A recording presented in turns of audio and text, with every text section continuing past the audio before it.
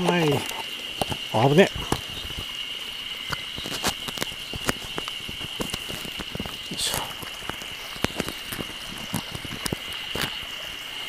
これヘルメヘルメット落とすと下手したら GoPro のレンズが割れるかもしれないんで怖いです。ああ外れた。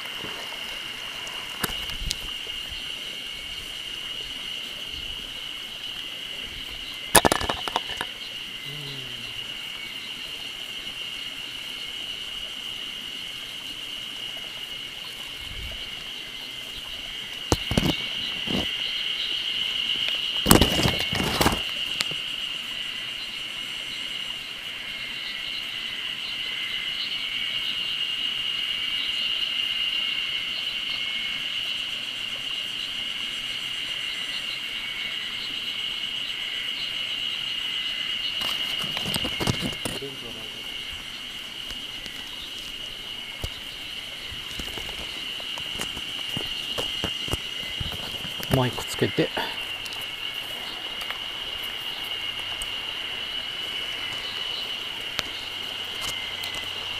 よし。あアブがアブが。あ。あとマイクのケーブルが外れた。あーめんどくさい。これでいいか。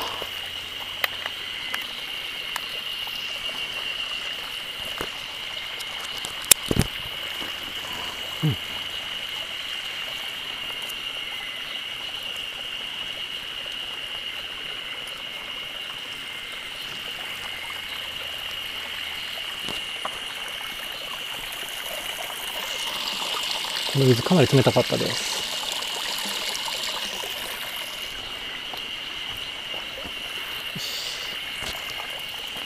えっ、と、こっち経由で行ったらまた水取れるよ。うな。よ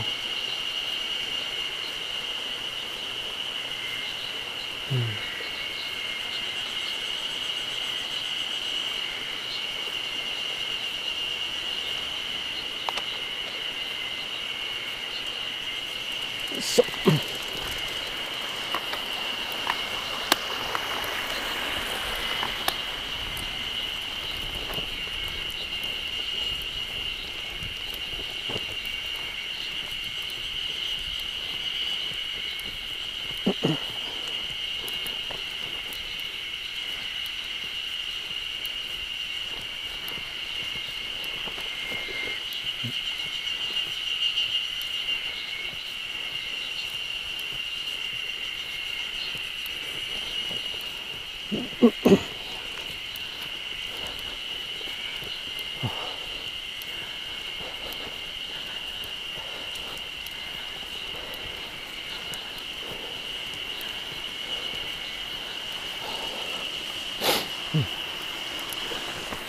おカラスかでかっ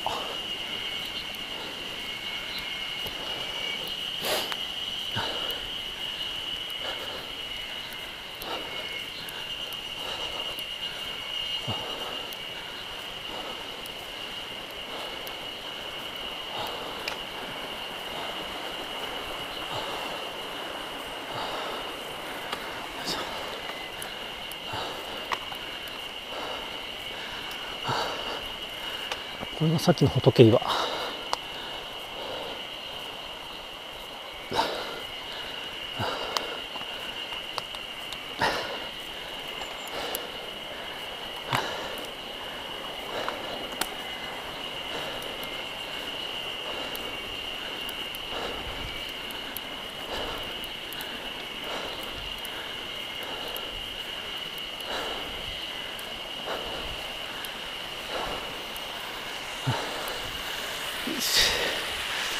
ス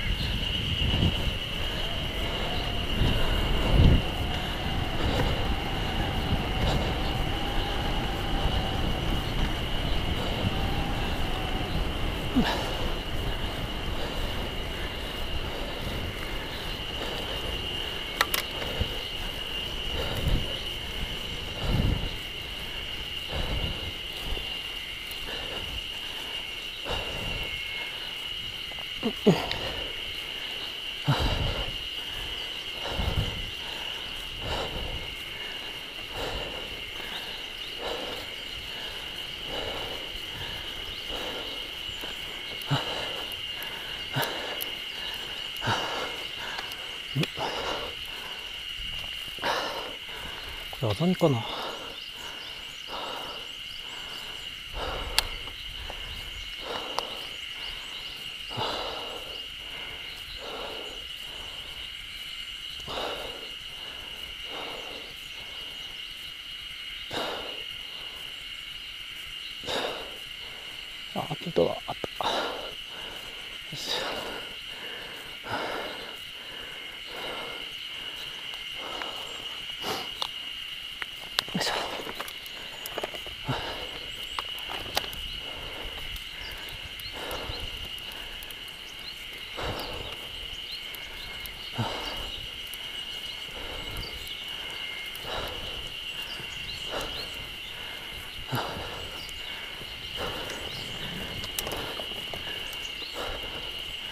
うわ、短かったらしい。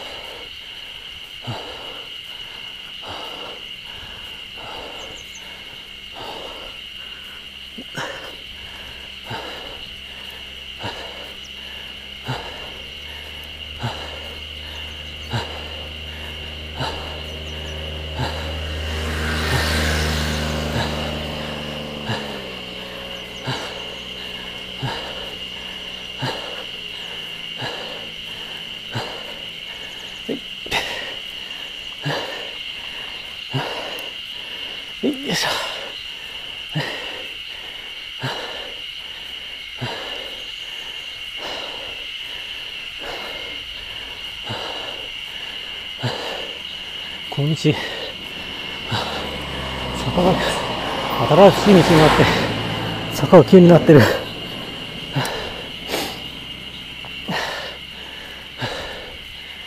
これ電子黒糖の地図だと、もうちょっとカーブが外側にめってますね。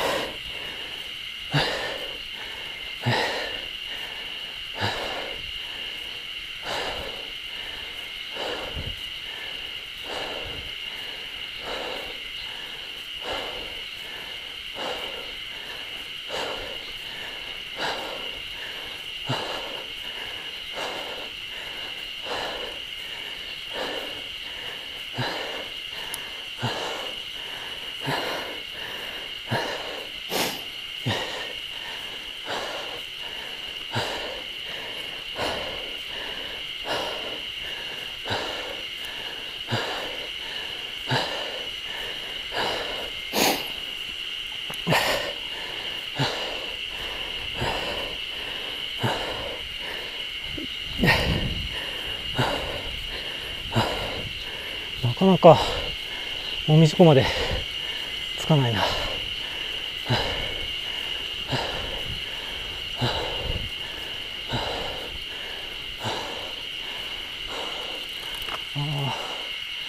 多分南アルプスかな。雪山が見えてるので、短め写真で撮って合成。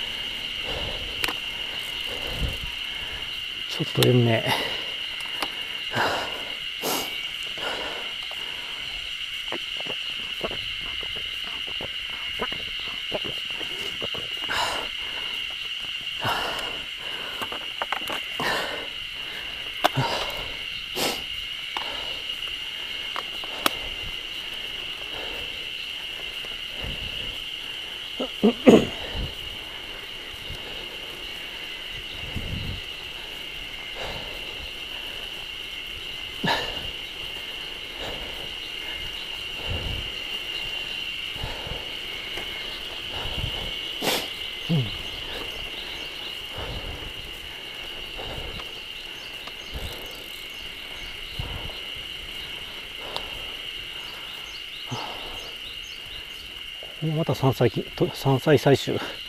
禁止だ。やっぱ重要な資源なんですかね。山菜とかキノコは、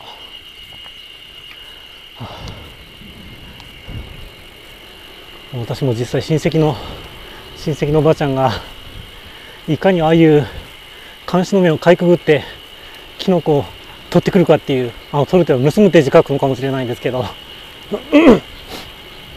取ってくるのかをなんか自慢してたしなあんまり犯罪って意識はないんでしょうね取ってる方は。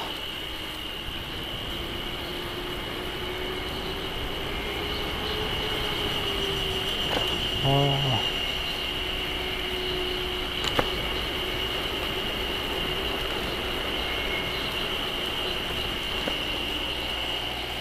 うわあまた新しいのこっちも。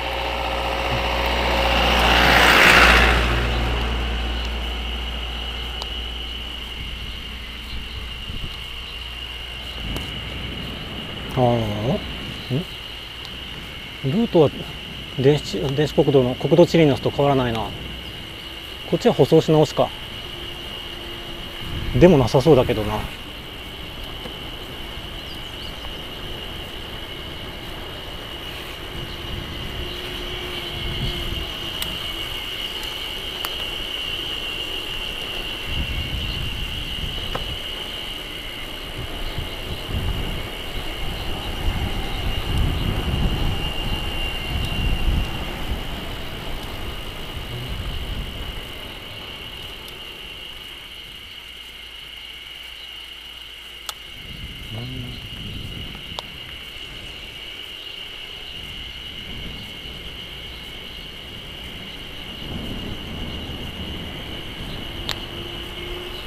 ああなるほど。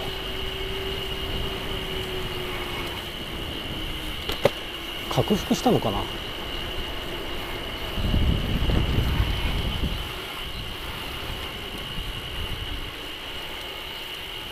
うん。いい景色。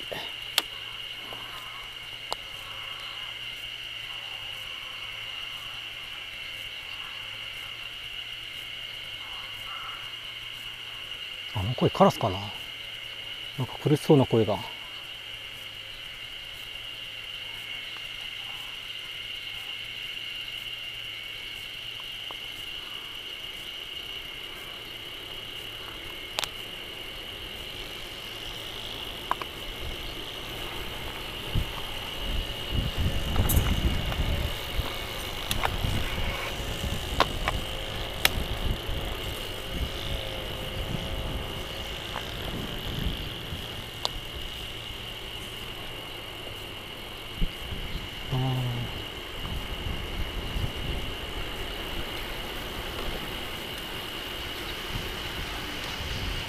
あ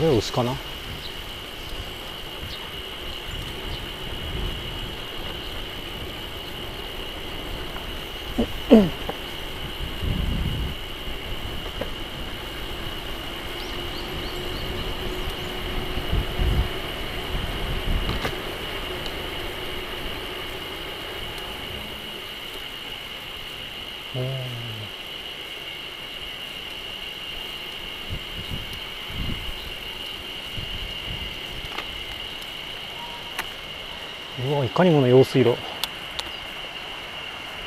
やたら濁った水が結構な勢いで流れてる。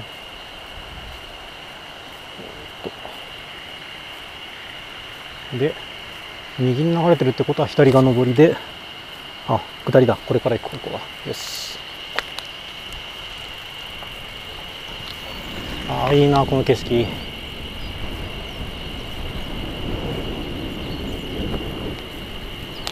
でこのガードレールもあスイカかなこれ。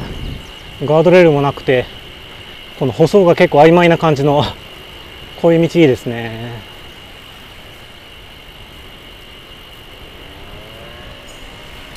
あ手で植えてるのかな。じゃなくて何か草取りかなんかかな。大変だな。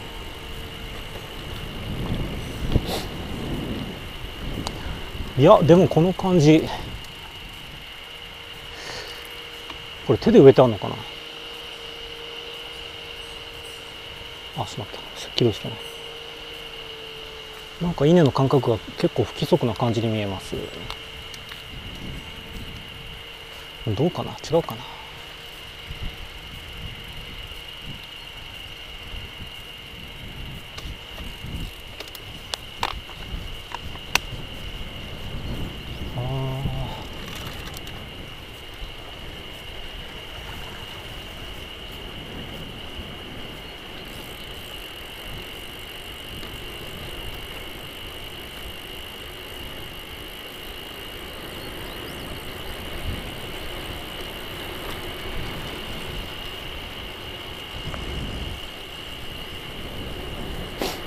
うん気持ちいい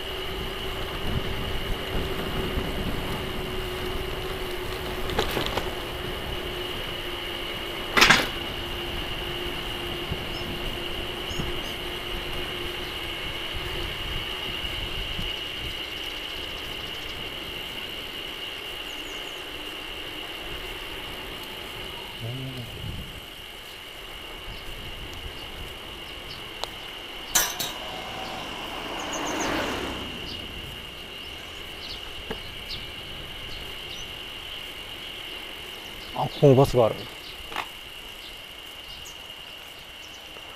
えー、っとあやっぱり1日3本か。曜日指定はないな。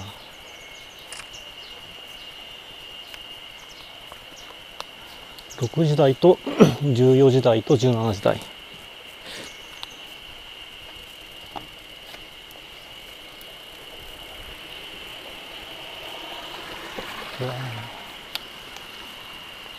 この巻も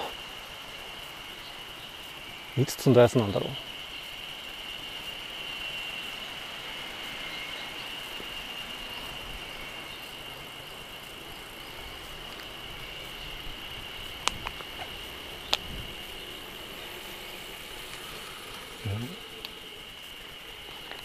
読めない字だ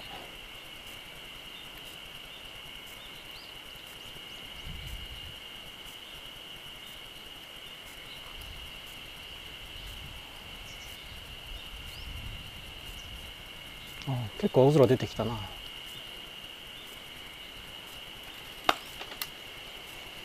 あこっちの巻きは新しい。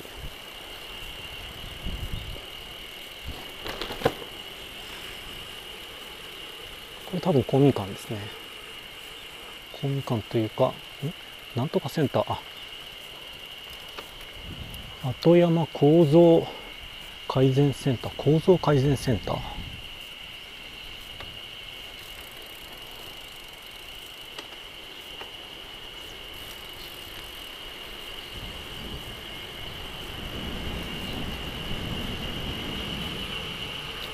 郵便切ってる印紙をこのうちで売ってるのか。な松茸山荘。四季味覚。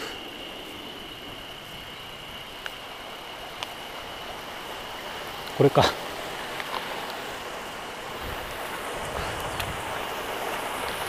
松茸山荘。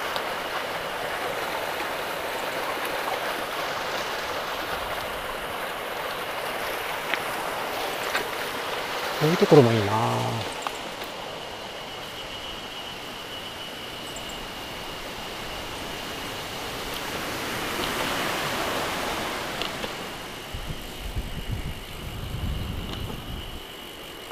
あれ？また日の宮蔵だってことはさっきと違う集落なのか。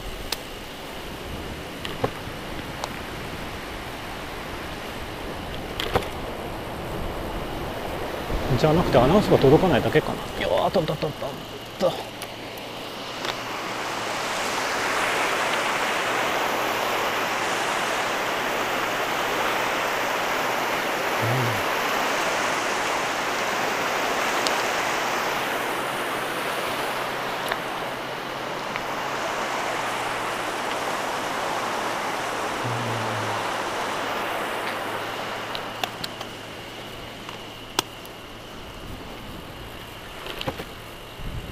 あパセリパセリ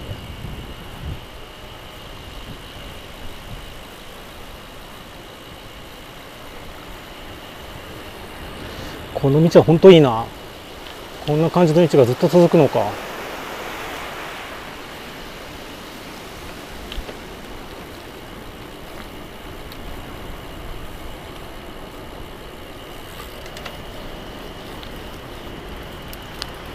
ナス。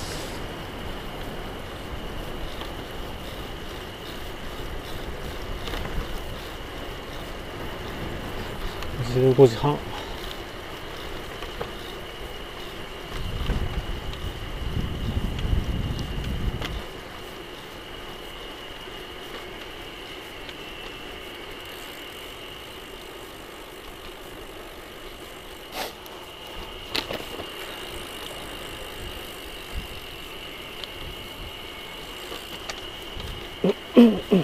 お自転車乗りだ。こんにちはおお珍しいの珍しいというかやっぱこの道。おおびっくりした。この匂いは鳥か？あ犬。ん？えっ、ー、とこっちだよな。うん。湯のダムもみじ湖うわ結構すごいなこの道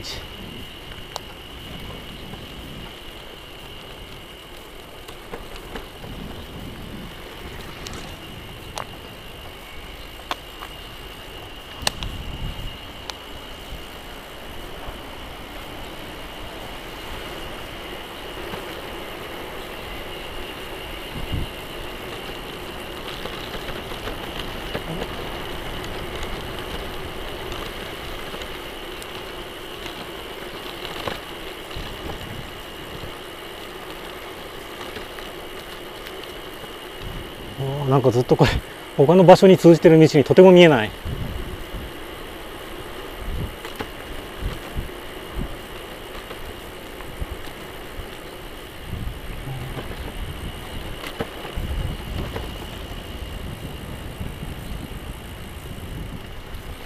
この作物も見たことないな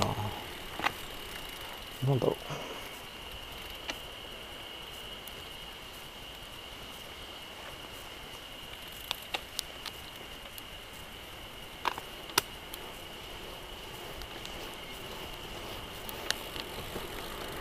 やっと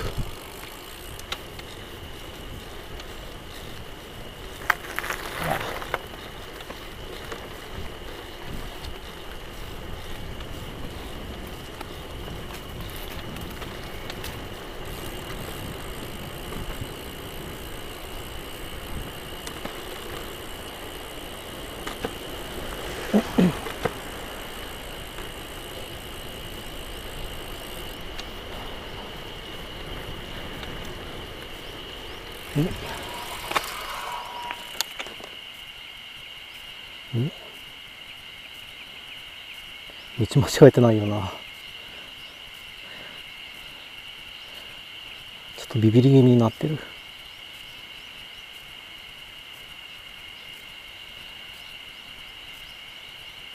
うんよし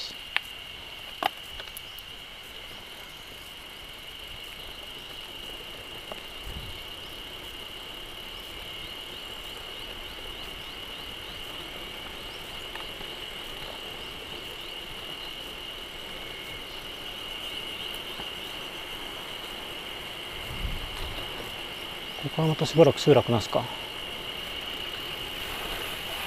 しばらくというか次はもみじ湖かなえっ、と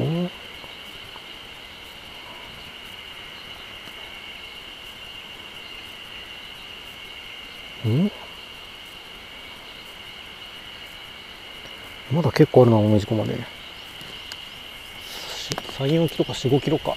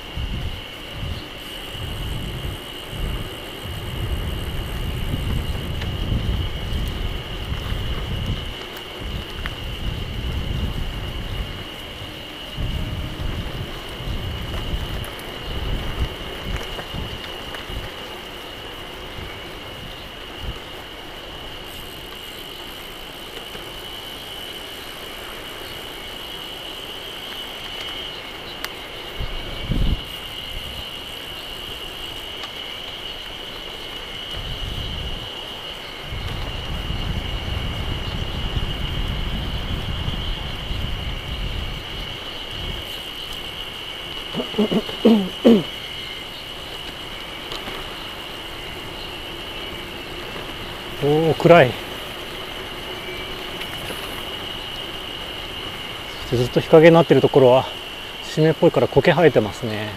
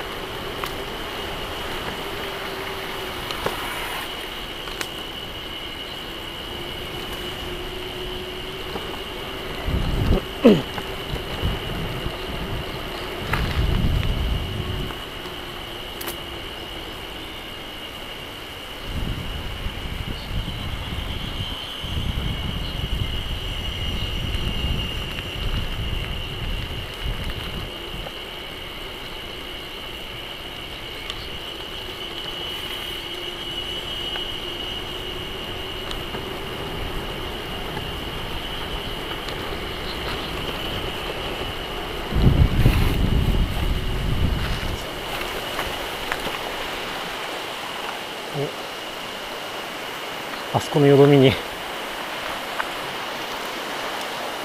カップ麺のカップが捕まってる。あ流れた。でまた端っこに捕まった。あ魚いるのか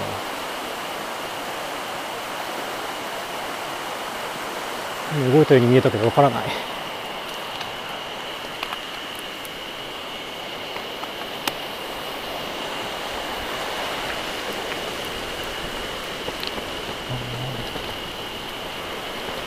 この発祥は41年ってことはあはよく私よりも先にできてますね。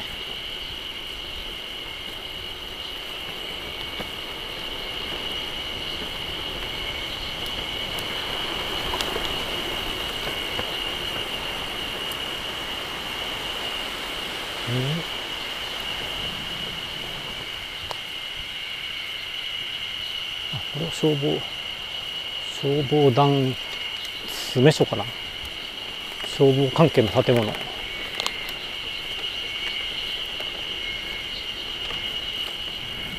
これはまた廃屋というか蔵か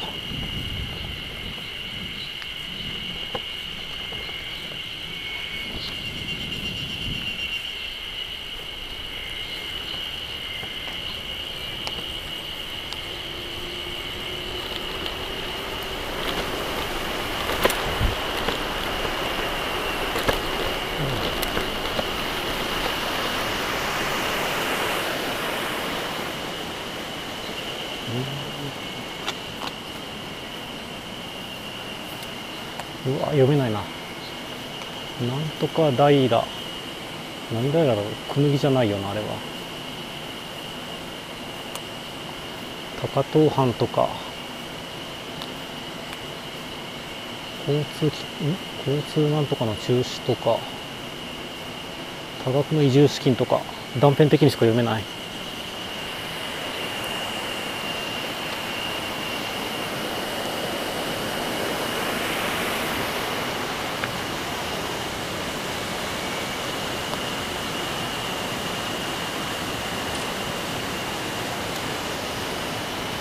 の小さい、まあ、社っていうのかなこれは。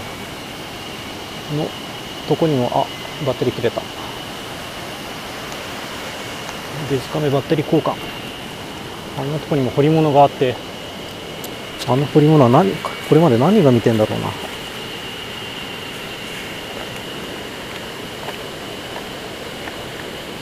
特に記録もされずになんか朽ちていくまあいいか。そういう感じのことを言おうとして失敗した。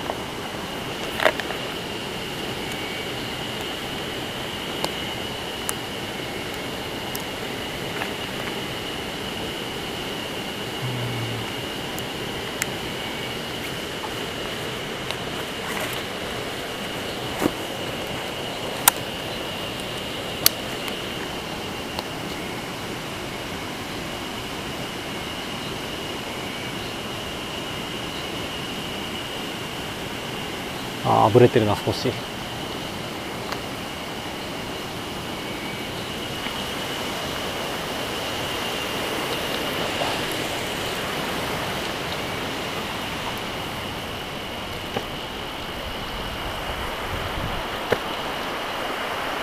なんかパラパラ廃浴がありますね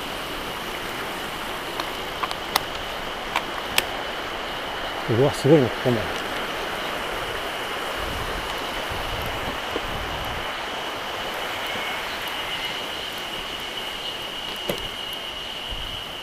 この道はいいな。電波ないけど。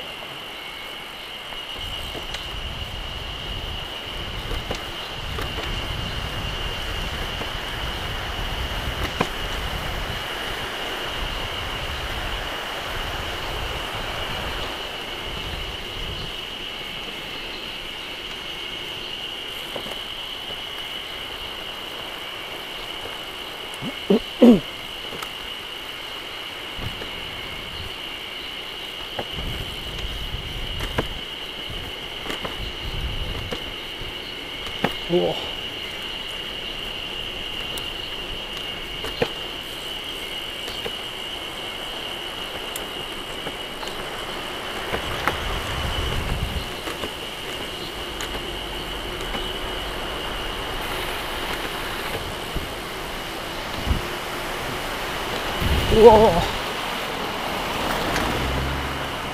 こんな緩いカーブでも先見えないもんだな。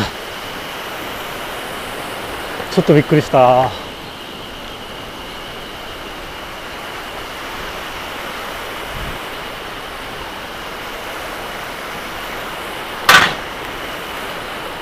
カーブこういうとこではカーブミラーカーブミラー見るんですけどね。ちょっと木に隠れてるだけで意外と見えない。あと下りは風音であの音が聞こえてないからちゃんと前見てたのに。あ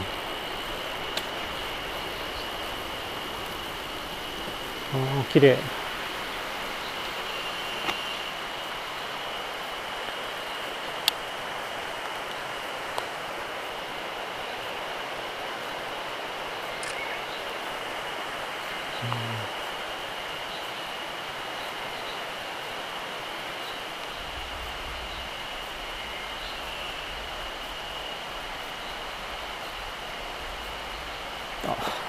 上向くとクラッとする。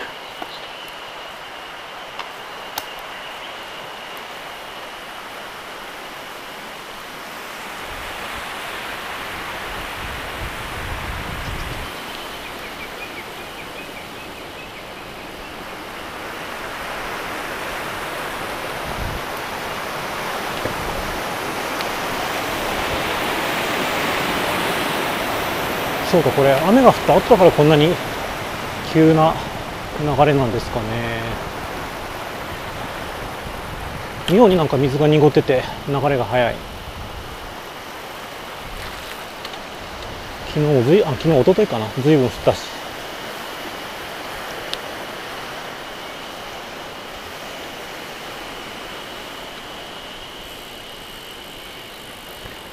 ここもちょっとカーブ怖いな。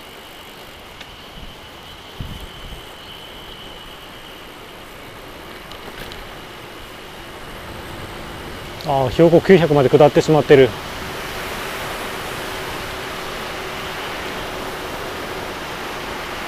茅野高原標高1400じゃなかったかな。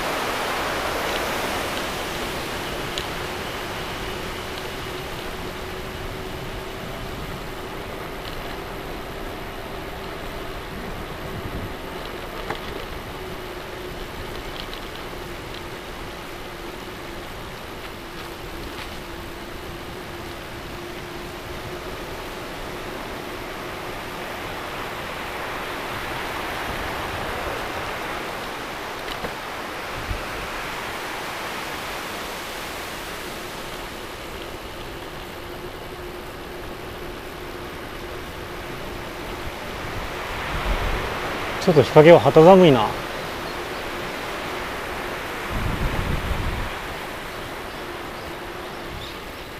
こんなとこでもローリングしてるやつがいる。もみじ湖までまだ2 6キロ。やばいもみじ湖で16時ってことは。最後の上りは1時間半ぐらいでこなさないと。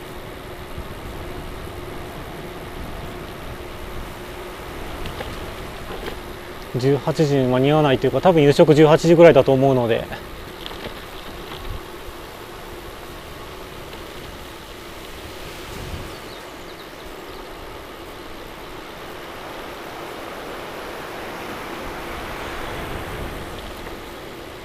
この辺りから電波あるかな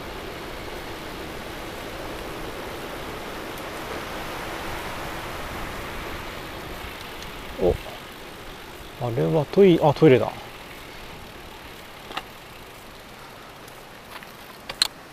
まあ、今大丈夫なんですけどね。そう。よし。じゃあ電波チェックして。うんと。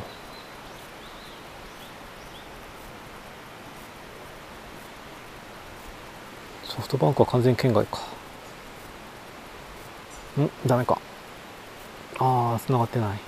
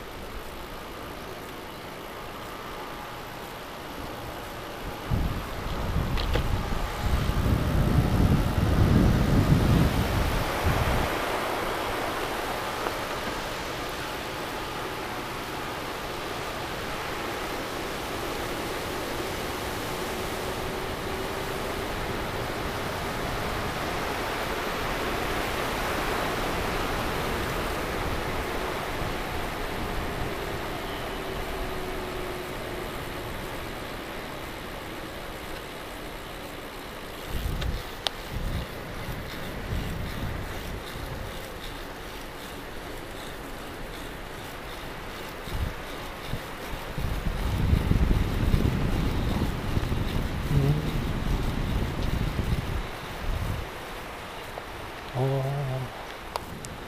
あなんかこの水沿い高浸透が多いな。とあと小さな社が。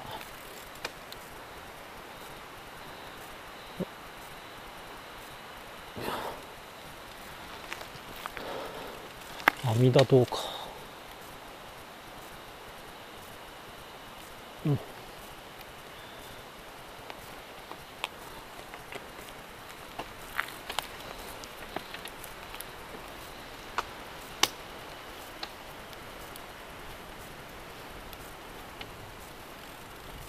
新田神社も神社がある。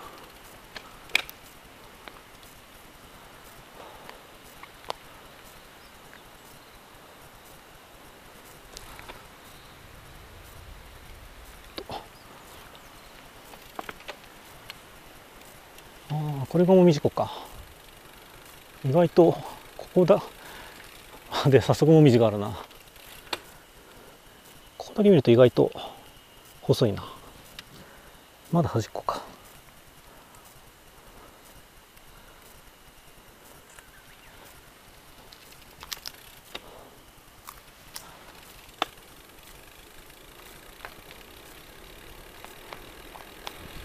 そう電波電波。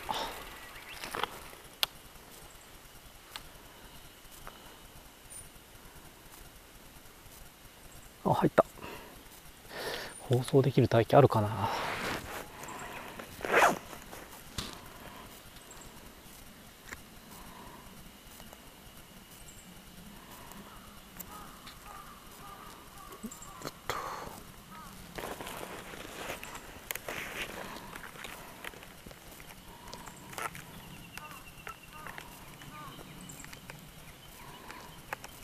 ログアウトしました。おびっくりした再接続を開始します。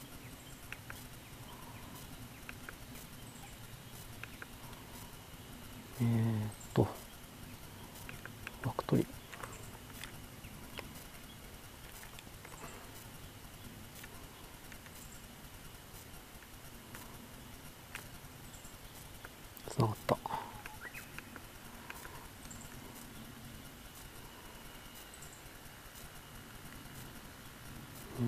あそうだ。放送する前に。マイクつなぎマイクをつなぎ替えとかないと。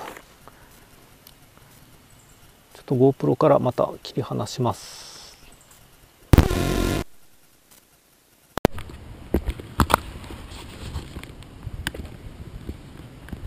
うんと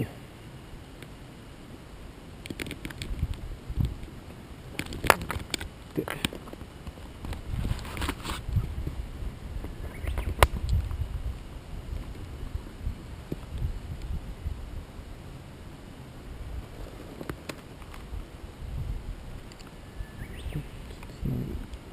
でと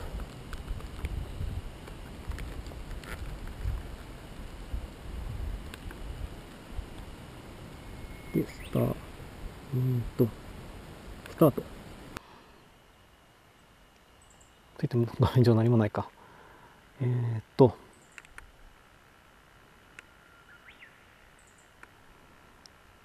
タイトルのもみじこだけかここの外に出してえ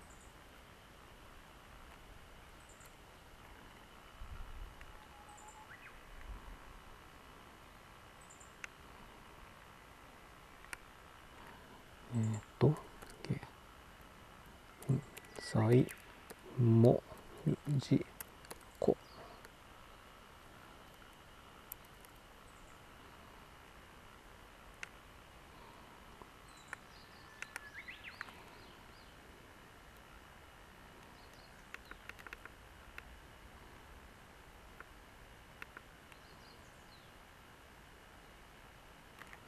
枠が取れたよ。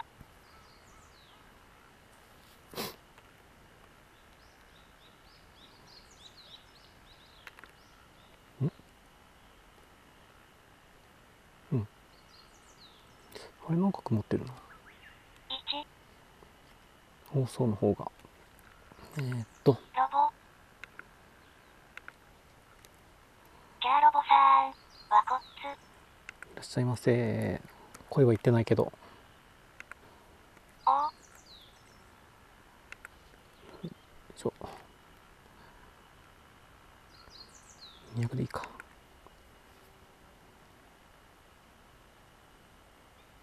よしつながったえっ、ー、と転送速度は？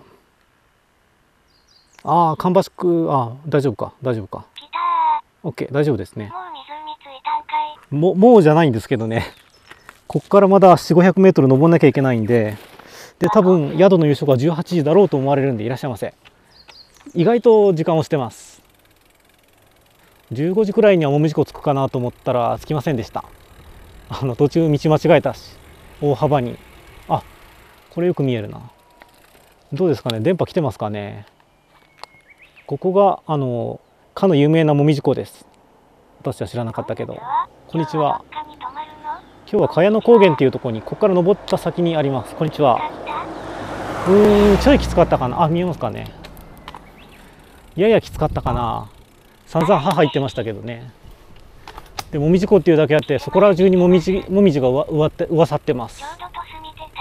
トスあタイムシフトですね。やばいな。今やむかないか。大丈夫か。こんにちは。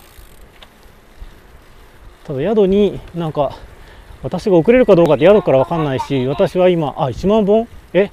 もみじ湖の周り1万本あるんですか？うん今日泊まりです。泊まりです。泊まりです。タイトルにつければよかったかな。知ってるからどこの県ですか？どこの県？長野県です。あ今こう試してない試してないんですけどね。茅野高原泊まった。あ茅野高原あそこの山荘はなんか良さげですよ。やたら宿泊料安いし。宿配信は電波ないんですよ。こんにちは。茅野高原はエリア外でした。飯なしに。飯なし本当やばいんですよ。周りは山の上なんで周りあの店ないんで。あいやえっ、とここは長野県です。長野県のえっ、と箕輪町だったっけ。ちょっとあのご飯やばい。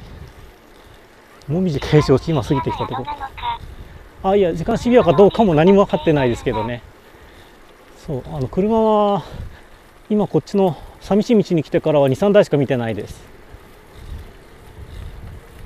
でもここの道多分ここもそうだと思うんですけどバス通ってるんですよ。1日3本山道だね。山道ただこの手前ですねさっきずっと緩く下ってきたところは全部あの集落があって。38. たくさんを検索。3本、わら。そう1日3本。あ一応この橋の上見とくか。もみじ湖。です。朝昼晩か、わら。ん？朝昼晩はなんだっけ？おおここはなんていうか全然人はあ。ダダチョウ肉？へえなんかドラマで使われそうな橋。ドラマ。それなんか人が死ぬようなドラマかな。おお今カモがあの。水面を飛び立とうとして飛び立たなかったな。水面バシバシ叩いて羽ばたきに合わせてあのしぶきが上がってましたけどね。結局また着水した。ああっちにダムがある。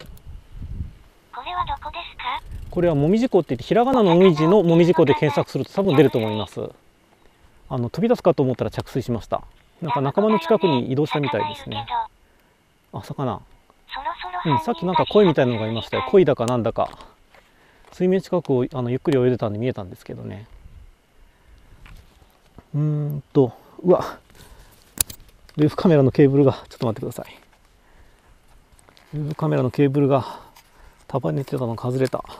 束ねるっていうかあの深呼吸。深呼吸。天気いい天気はですねずっと高曇りというか薄曇りだったんですけどちょっと青空出てきました。あでもまた青空見えなくああっちの方だけ晴れてますね。後ろの方だけ。静かだな。ズボンは直履きですか？ズボンは直履き。直履きっていうとなんだっけ？パンツなしでってことですか？いやそれはやってないですけど。スカイスポーツあ今映ったかな。よしこっちももう一遍取っといてあもう一羽いる。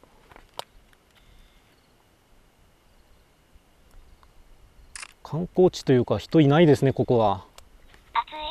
あ全然暑くないです。あ今ここ動いた？あじゃあ出しとくか。あいらっしゃいませ。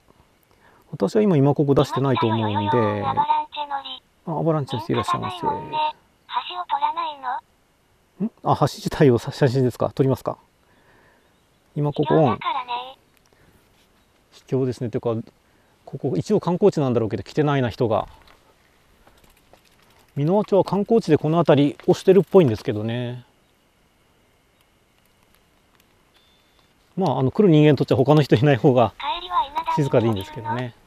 えーっと帰りは今日今日はまずあの茅野高原ってとこ泊まってもみじ、まあ、生えてるというかこれ植植えられてるんですねで明日はですね高遠の方に下ってで高遠からちょっと裏道に回り込んでまた電波ないとこ走ろうと思ってます。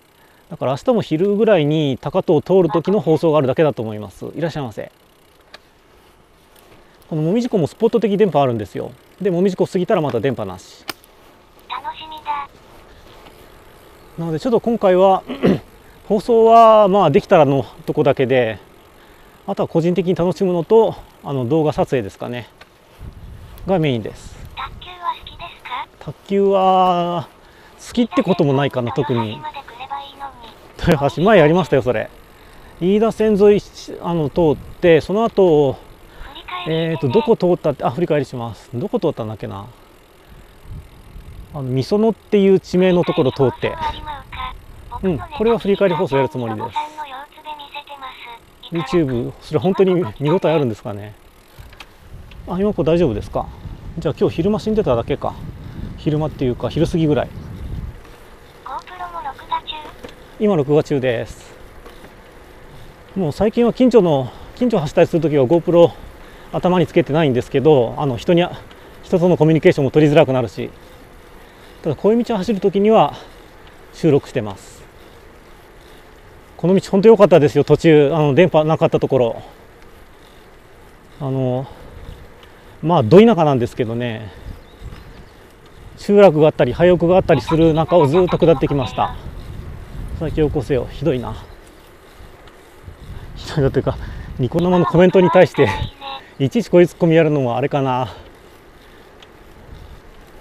皆さん別にリアルの生活でそんなこと言ってるばそんなことばかり言ってる人じゃないでしょうからね。言ってる人だったらどうしよ。う。あこんにちは。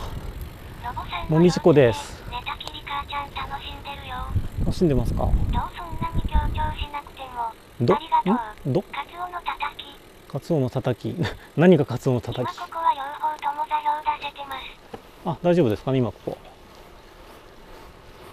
またここも人ありがえっ、とあれアルガ峠って読むっていうコメントありましたよね。ん？あ秋葉街道よりも西側の道です。近所は相模川とか、えー鶴見川河口とかそのぐらいが近所かな。本当に近所だ。私は家の家からまあ20キロぐらいだったら近所にしてもいいかな。それ以上私は遠い。気軽に行けない。っていうか多分輪行する。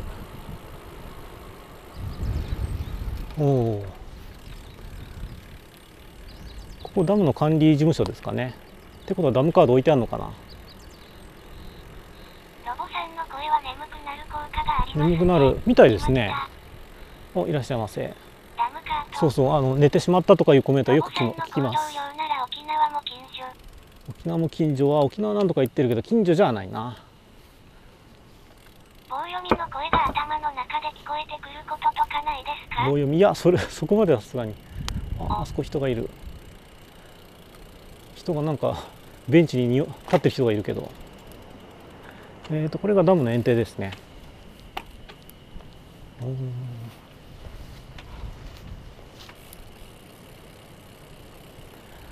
でこっちの景色はまだいいんですよ私でも大丈夫なんですけどいや村人じゃなくて今の人は押すなよ。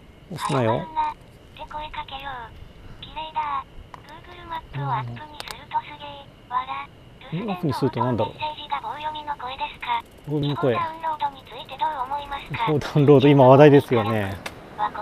私は今のところこのうわやっぱ怖え怖え私は高所恐怖症の毛があるのでこれはきついな。あ赤いダニだ。声真っ赤なダニだ。声。怖えちょっとあまり見るのやめとこうこういうのは横から見るべきですね。上から見るのは怖い。あそうそう茅野からですね。稲谷じゃなくてあの高遠の方に戻るつもりです。まあでもあの稲の方に降りても別にいいんですけどね。明日は別にルートあの監督のよく知らない。あのツイッター上であんまり話題になってないから知らないい。ソースはツイッターなので私の動画はえっ、と Google マップの地図の著作権的にはちょっとまずいかもしれない。ただまあ Google は YouTube あグ YouTube は Google の中なんでその中であれを使ってる限りはまあ許してもらえないかなってところですね。であとは、えー、とニコ生のコメントのそのコメント自体の著作権っていうのがどうかってなるんですけどどこにも明示されてないですねあれは。なのでまあまあまああの白に近いグレーかなぐらいに思ってますね。白じゃないけど。仕事中に。まあ仕事できてりゃいいと思いますよ。私は私の会社はちょっと厳しいかもしれないんでなんかとあの会社の仕事じゃないことでネットを使ってるとまあネットって自前回線ですけどねツイッターは。使ってると突然クビされるかもしれないから。870あ900切ったか。確か茅野公園1400じゃなかったかな。標高。うわここも高い。こんな下るんだっけ。あれ茅野高原1400じゃなかったかな。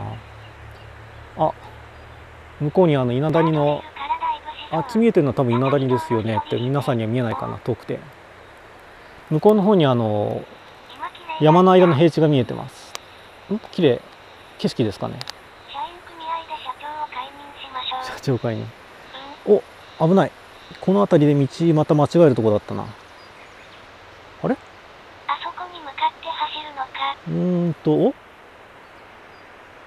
あれ？ちょっと待ってよ。これどの道だ？んえー、っと私はこっからまた上り返しになるんですよ。ですよああの道か。中国人の違法アップロードどうにかしないとね。うーんガーミン頑張れ。いやガーミン私が見ないのが悪いんですけどね今日あのアルガ峠からアルガ峠から先いや道は今のところ合ってるみたいですアルガ峠から先峠からあの細い道に分岐しなきゃいけないのすっかり忘れてて気持ちよく3キロ下ったところで気がつきましたそっから元のルートに復帰するのに30分以上はロスしたかな？あれどの道？この先に漫画喫茶あるの？長喫茶はないですいやあのずーっと行きはあると思いますけどね。あ1200ぐらい。あなるほど。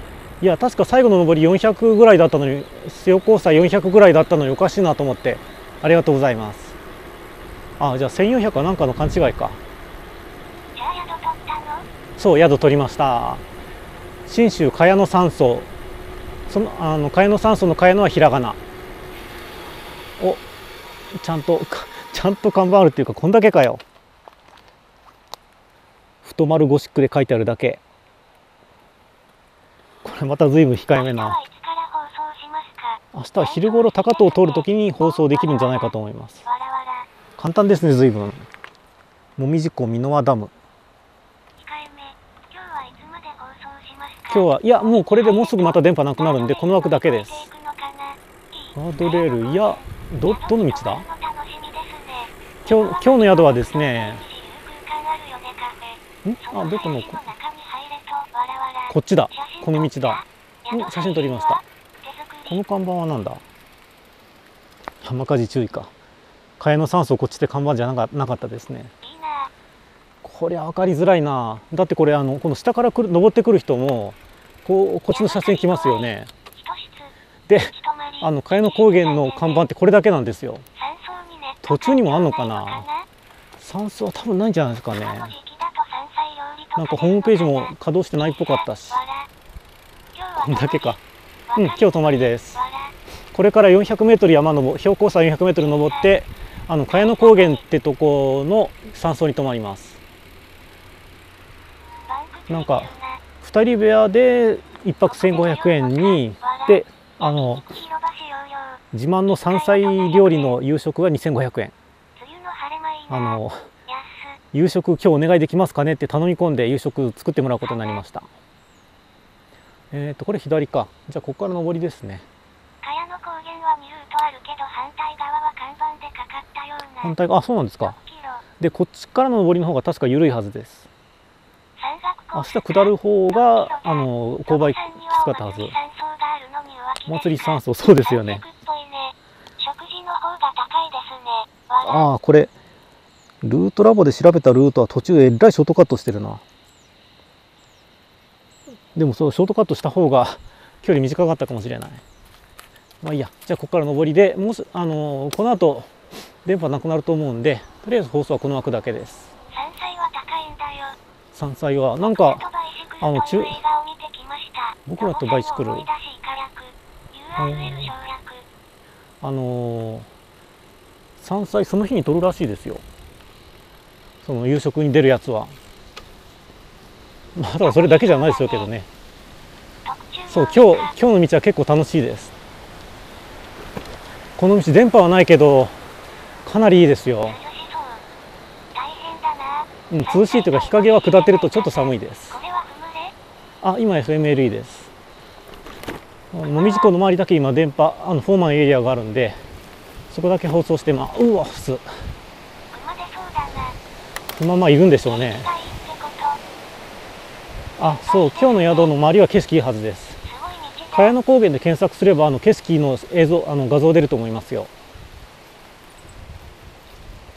ロボさんなら自転車で逃げれる2500円でん。あ熊。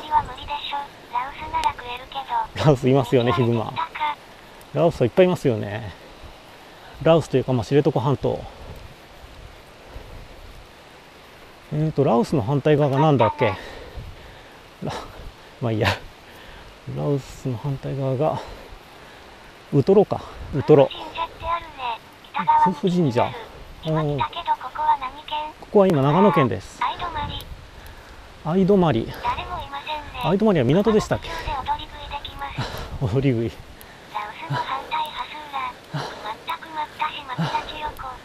塩子わら。ロボさんが食われちゃうぞ。おばちゃんのでも熊と津は前。あのどこだっけ？えーっと北海道の地名が思い出せない。はは。赤岩なんとかっていうあの辺り。おバイクだ。あこれキャンプ場かな。ははキャンプ場だ。馬がロードバイク乗ってきます。ここでキャンプしてる人いますね。どど真っ暗ですよきっと。はタープかなあれタープ。定義よく知らないけどタープ。人いる人はちょっと今ここから見えないですね。あと今日のルートは。自販機とか全くなくてあの飲み水とか大丈夫かなと思ってたんですけど意外とある。集落があって自販機もあるしあと途中延命水っていうのがありました。で延命してきました。ヘビはいるでしょうね。たまにあの潰れて平たくな引かれて平たくなってる。大滝って大滝ってどこでしたっけ？北海道で大滝ってとこなかったっけ？そう延命してきました。若返り水はなかったですか？若返りはなかったですね。現状維持なのかな？延命だと。大滝ちゃうの？延命水って結構どこにもあるね。延命水よくありますね。これ右ですね。一旦この道に入ったら看板多くて親切だな。えー、と今下りというかほぼ平坦でした。ここからまだまだまだ登る車じゃ入れない自転車に良いコースですね戦車に。でもどうだろう。茅野高原には車で行く人が多いでしょうからたまに通るんじゃないかな。結局結局。鳥のさえずり。そう鳥の声がどんぐらい入るかっていうのがいつも気になるんですよ。効果音がいいね。梅雨明けしたよ。あ梅雨明けは沖縄ですよね。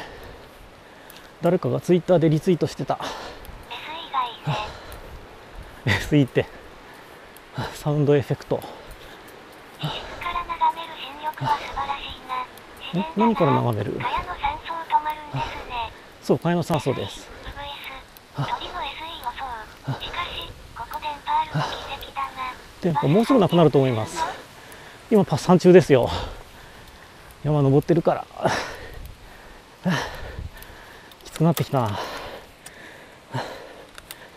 まあ最後の登りだからあと1時間45分あるから楽勝かな。あ暑くないです。民家はもみじ港に下ってくる途中には結構ありました。一泊いくらですか？一泊2人部屋で1500円。大広間だと1200円だしあお風呂の影ミリだん安わらマウンテンバイクでもそう安いんでマウンテンバイクでもまあの重さは食事配信は電波ないんです宿は。マウンテンバイクだ2人部屋は誰と一緒なのか分かんないです。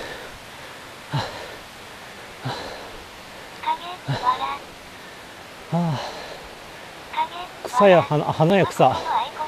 ポイ捨てやめてと泣いている。彼女と彼女とまあ男女相部屋はないですね普通は。世界一周してる人いるじゃないですか。私はやっぱ海外はあのうんそこまでの気力がないな。人気中継してた田代みたいな影ってなんだ？まだ電波あるんですかでも。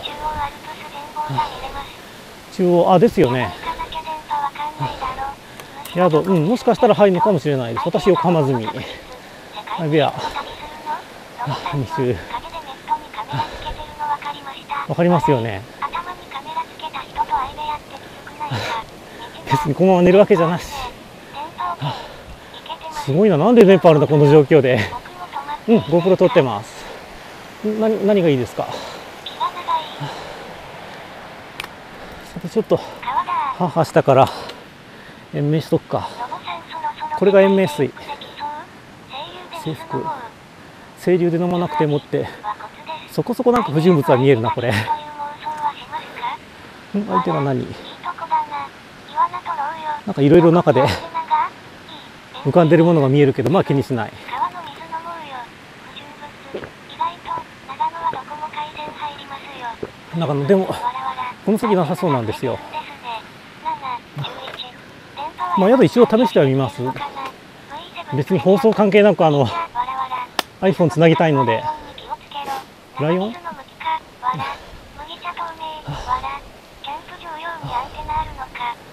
キャンプ場用にいやあのエリアはなかったですよ。地図だとあのフォーマの地図だと。フォーマエリア地図。セブンイレブンないな。なんか20%楽しいっすか？生水何そう au とかその辺りはまだ調べてないんですけどね。まあフォーマしか持ってないから関係ないし。あと電話がソフトバンク使ってますけどね。つあの通話は放射水そんなこと言ってると放射能あの脳みその放射能って言われますよ。集合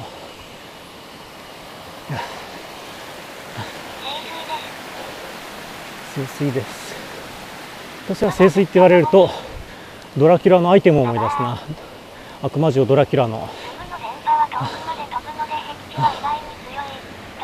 ソフトバンクですか？見てみるか。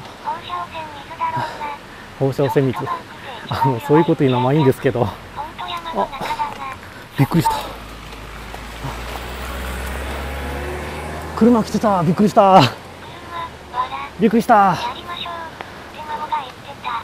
フォーマあのソフトバンクは電波来てませんでした。びっくりした。近づかれるまで聞こえなかった。今の読み上げ場よりは右のその180走りダメですね。わかります。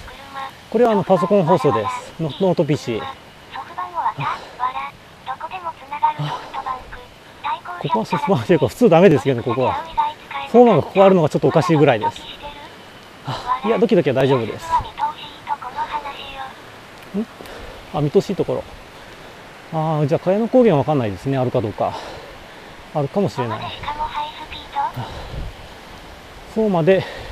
いやハイスピードエリアはどうかな。どっちしろニコ生の放送だったらハイスピードでもなくてもあんま変わらないです。ダメなんです。で映ってるかなこれ。うん、うん、いやキャンプ場はあるとは限らないですよ。ダメですね。ハイテク酸素電話つながるみたいですけどね。あの固定電話は。次はこれもうないです。どうせこの先キレキレになって。ああダメかとか言いながら走るだけなんで。あ途切れてまあいいタイミングかなとりあえず今日はこの枠含めて3枠だけかな。まあ普通繋がらないですよねこのこの道。一本？あ波平か。波平って。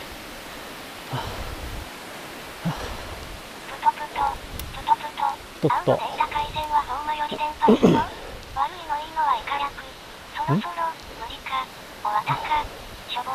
まあいいタイミングですね。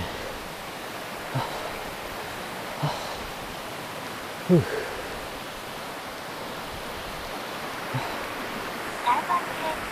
頑張ってまいります。この景色は普通電波ないですよね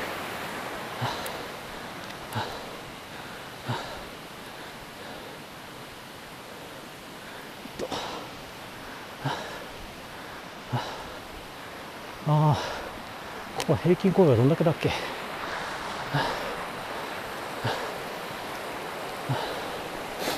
ふう。ない。ない。お疲れ様です。あありがとうございます。気をつけてありがとうございます。まだまだ早いな。この先は写真と GoPro 動画ですね。えふう。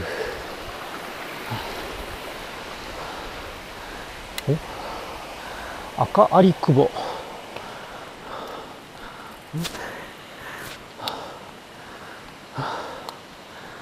えっ、とうううなんとか沢赤有久保。赤有。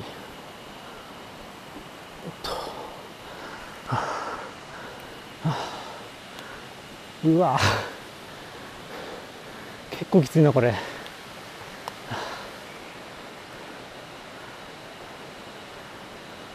まあ実際登ってると見てるほどのひどさは感じないんですけど下から見上げるときついな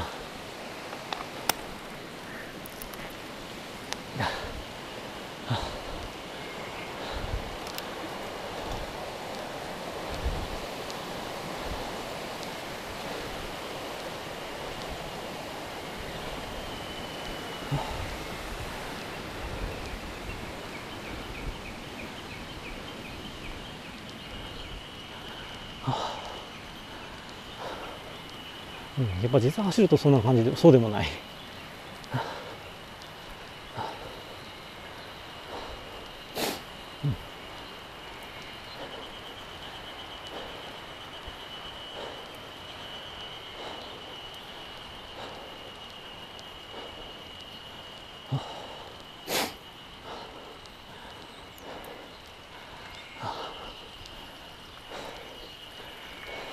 いやここは結構きつい。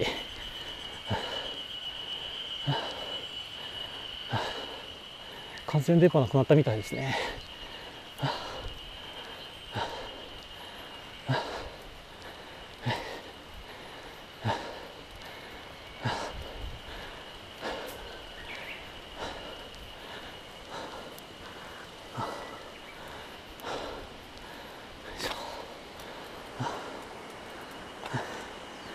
この感じはちょっとあのぼんぼり林道に似てる。仮。あれ何峠だっけ？仮山峠だっけ？和田峠の近くの。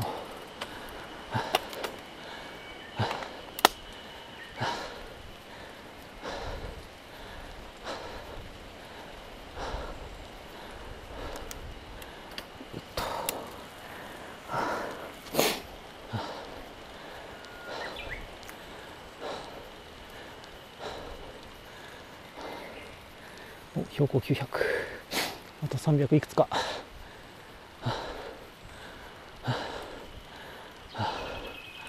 標高多いな。東証6年生の人たちの。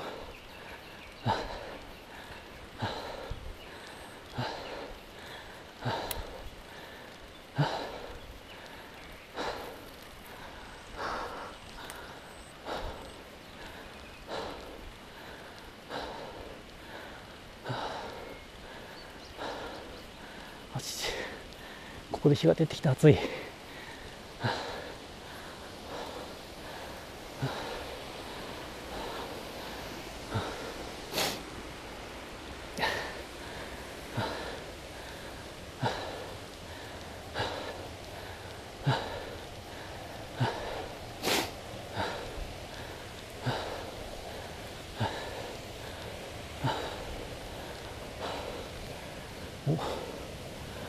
が宙に浮いてるう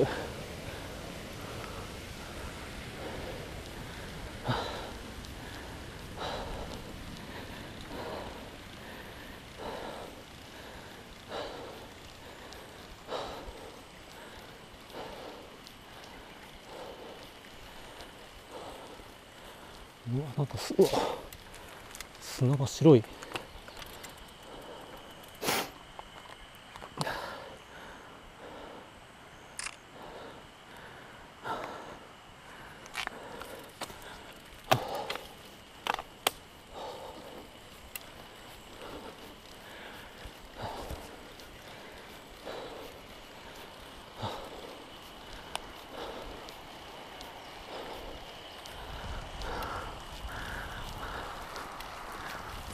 が白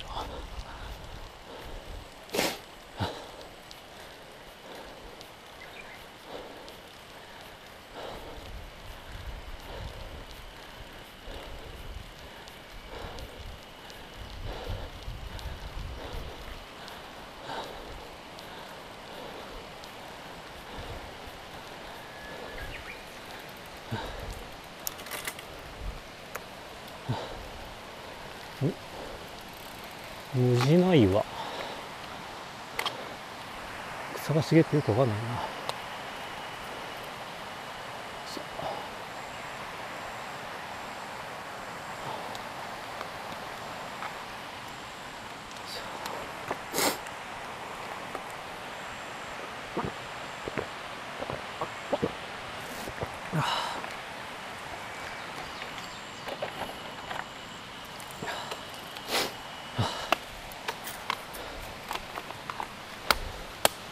ログアウトしました。あ切れた。再接続を開始します。てかまだバック終わってないんだっけ？よいしょ。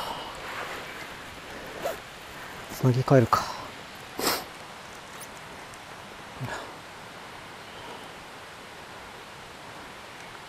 うん。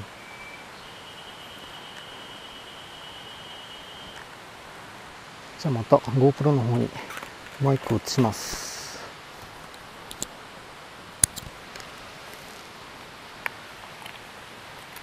えーっとよ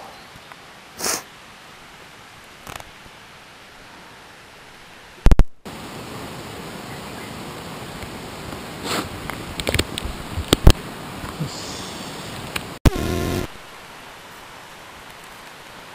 でまたケーブルを束ねて。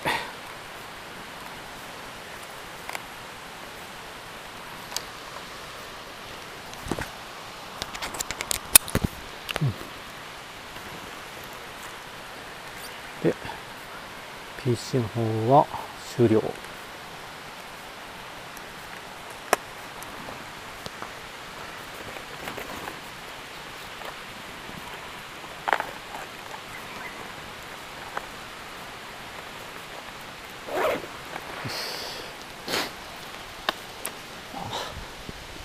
ると汗が。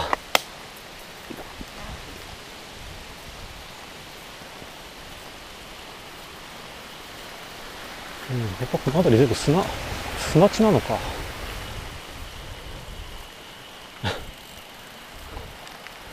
これちょっとかわいいな。ゴミっぽいっぽい山から動物逃げていく。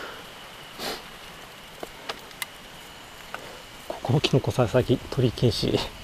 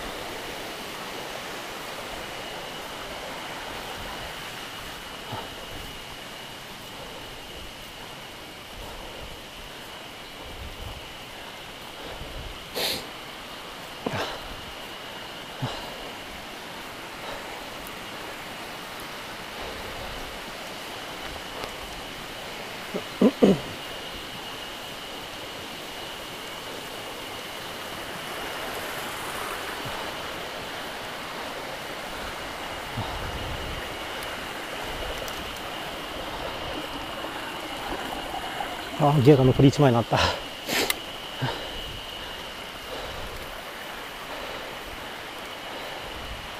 うわ。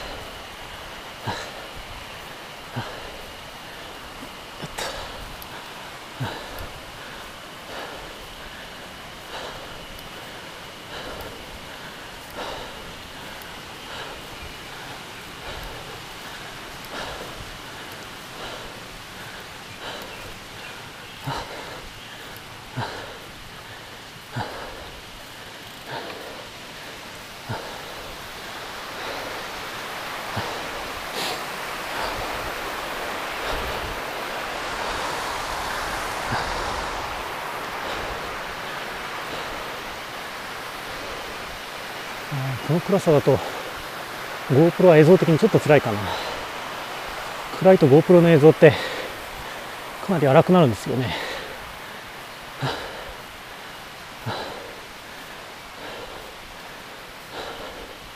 まあ荒いというかボケて見えるというか。固定焦点だからピントが外れてるわけじゃないんだろうけど。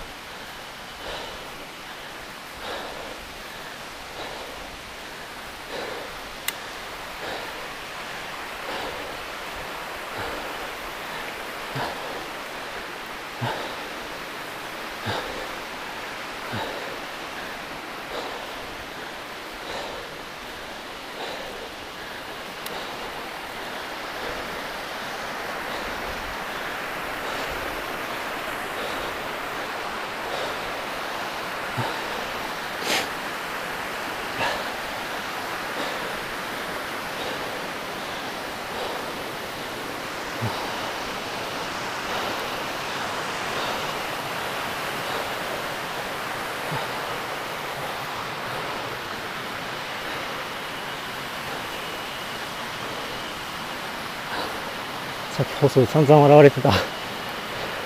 頭に突起物がついたシルエットです。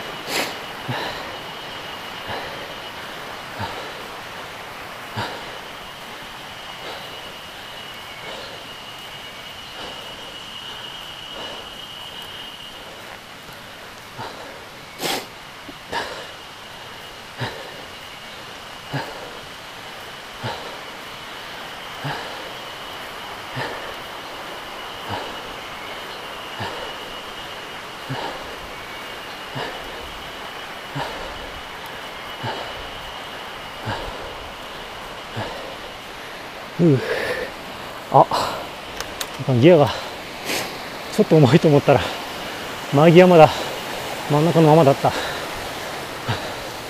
重いと思ったんだ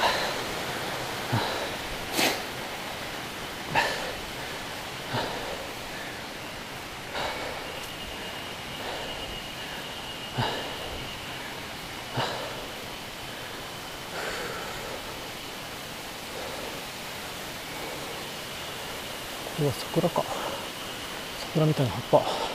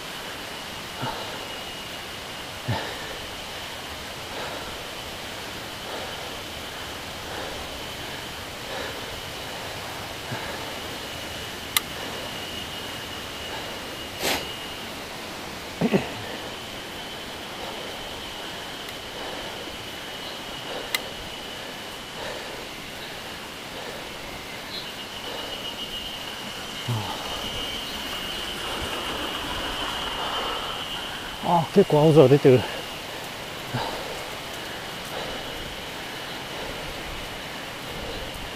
せめて夜景じゃなくて夕景が見られる時間にこの上に着きたい。まあでも楽勝かな。もうすぐ標高線越えるし。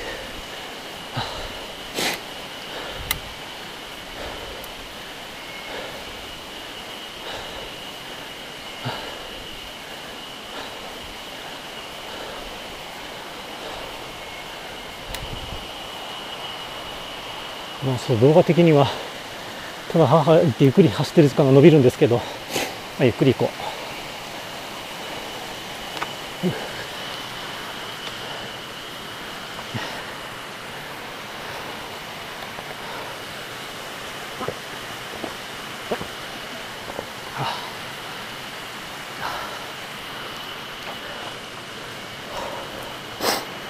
お山荘が地図に入ってきた。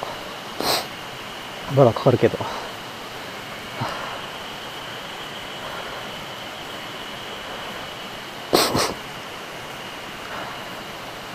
えっと、この辺りの標高が、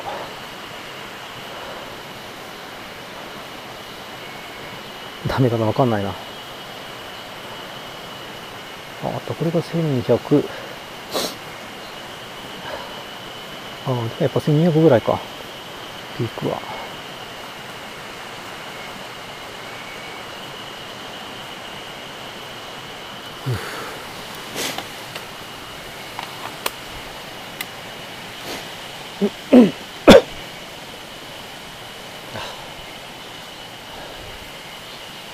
うん。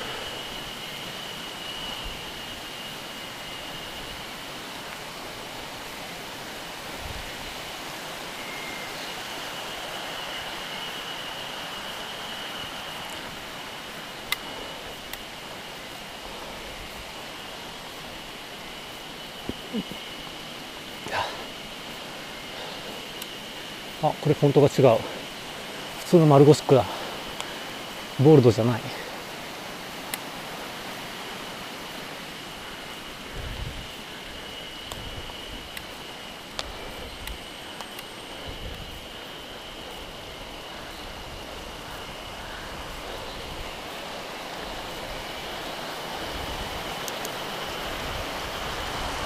ああ、水が綺麗。て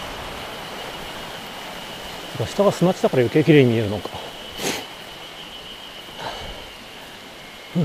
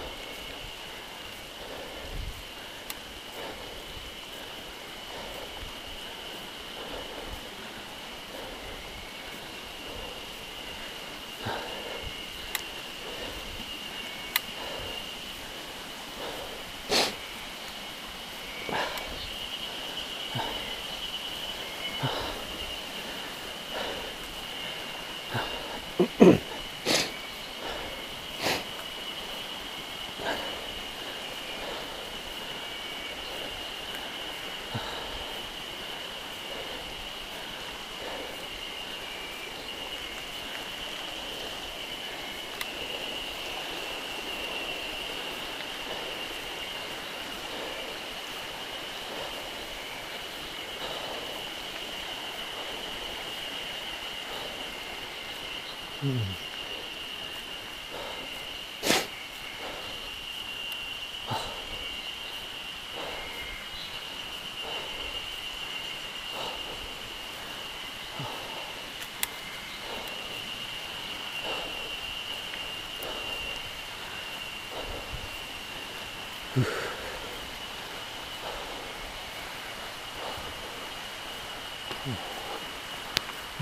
あの葉っぱは、これ何の木なんだろう。ん白樺？かな白いから。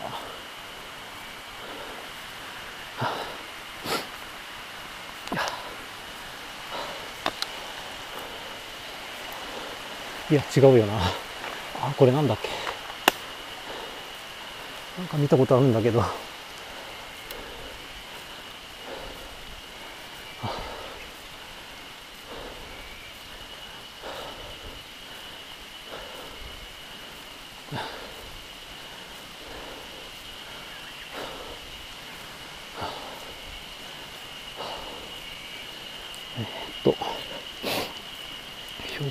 30あと200弱。この辺りでちょうど半分ぐらいか。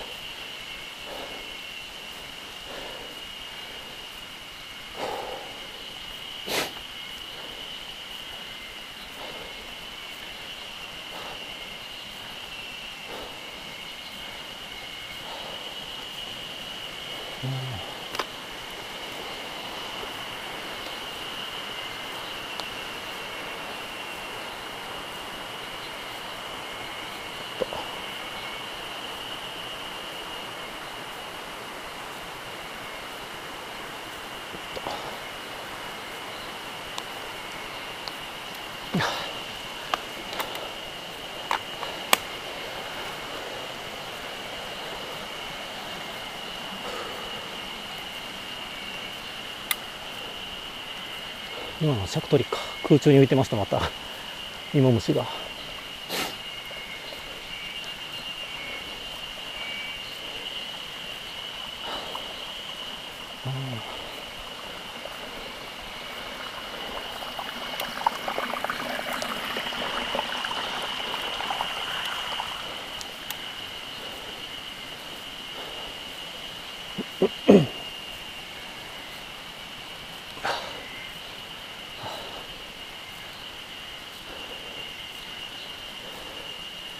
これまたボールの新しい方の看板だ。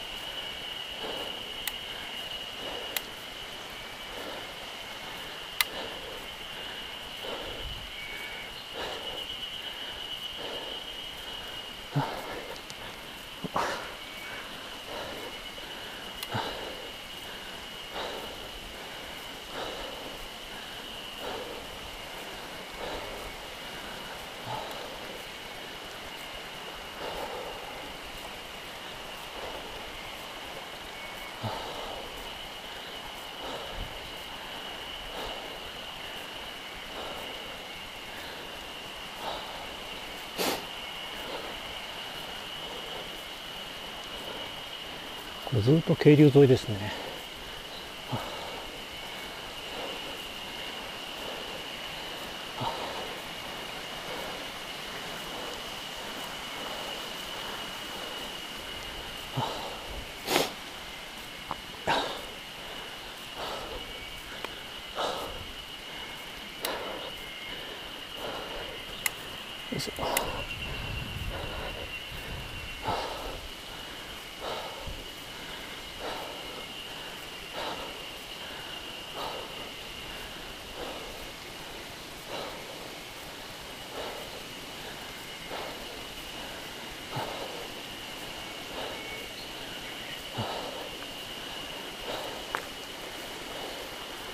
キノコ看板。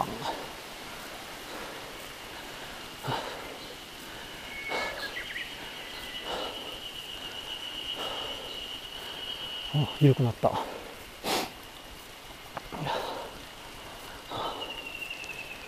砂がいっぱいあるのでやっぱりずっと砂地なんですね。この辺りの山の地面地面というか地勢っていうのかななんて言うんだろう。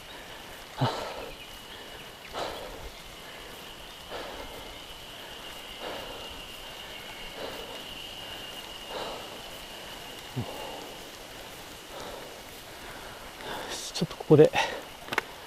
おああれルルタテハか。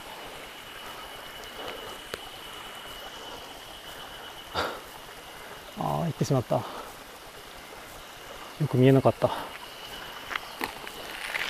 っと甘いもの。どっかどっか自転車。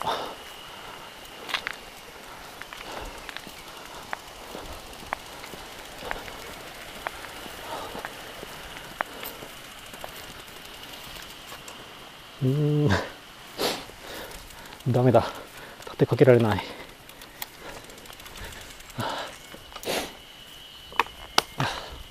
ガードレールのあるとこまで。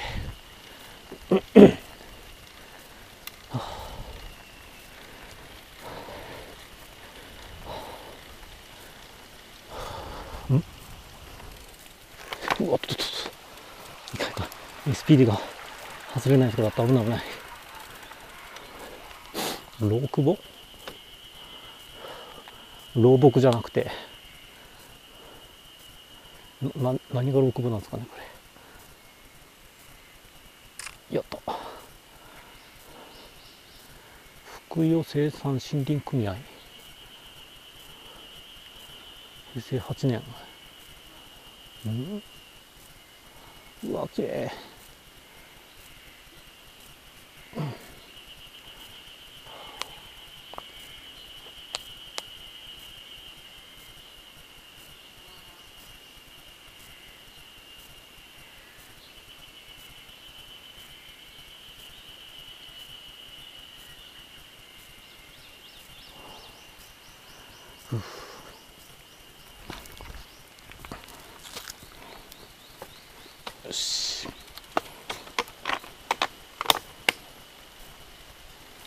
れでいいか。よ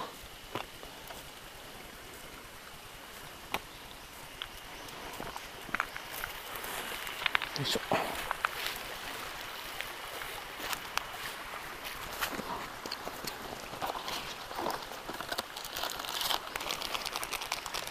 トッポ休憩します。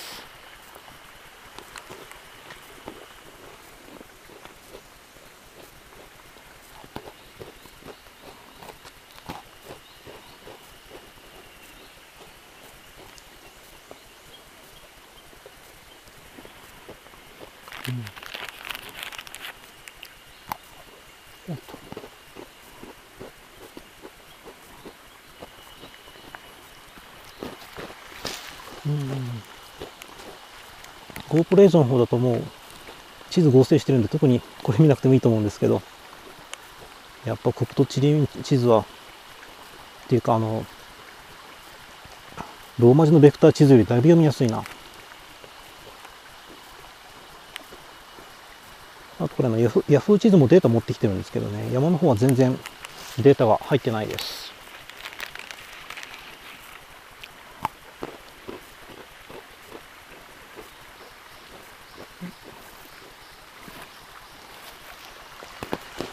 これ8かな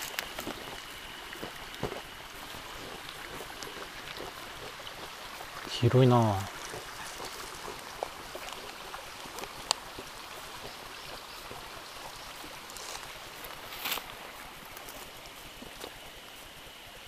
止まって止まってよし。ああボケた。ああ映らない。ああよダメ。落ちるとこだったうーんダメだな。遠いな。あ危ない危ない。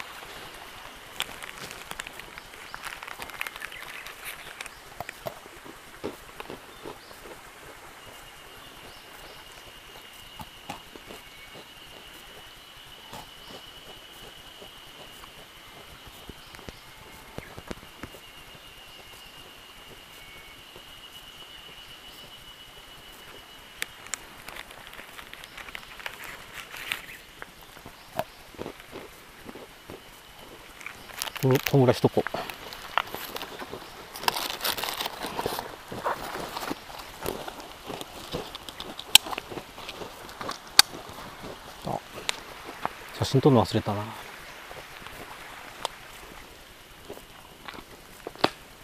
なんかこうやって写真撮っとかないとこれ映像全部見直すのはちょっときついんで写真ベースであの 何かイベント起きた時のあの抽出してるんですけどね。抽出とか特定か。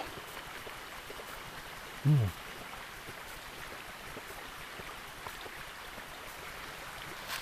甘かった。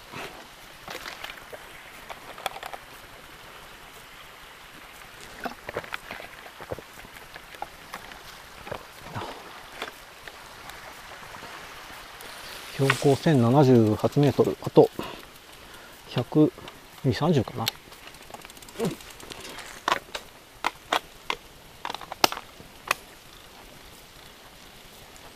うん涼し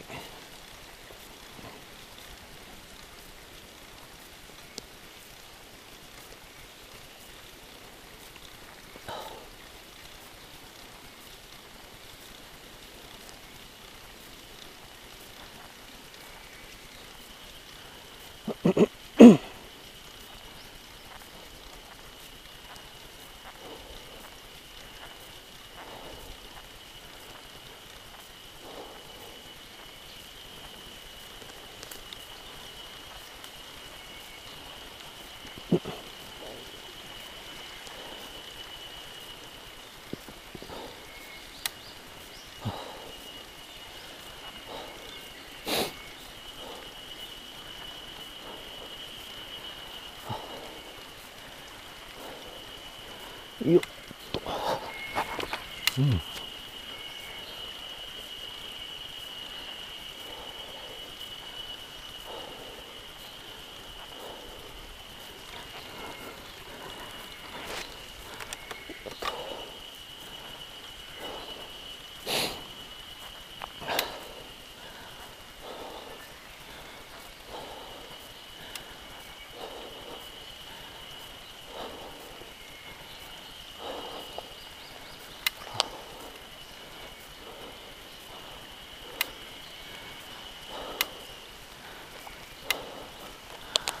うわあ砂地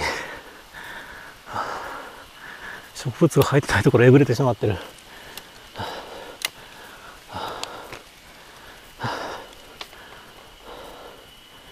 こういうとこの砂地の方がキノコは生えやすいんですかね。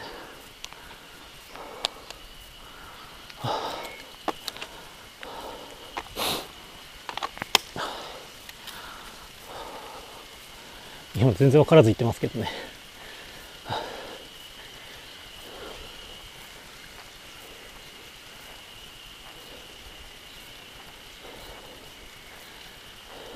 おあ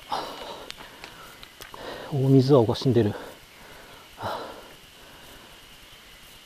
の薄緑色で大きくてすごく綺麗だけど気味悪気味悪がられるが。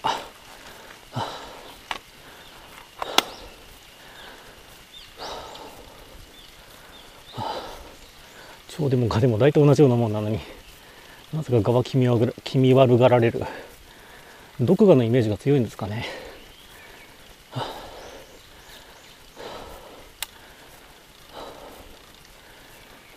お1100をオーバーしたあれ？あ大丈夫か。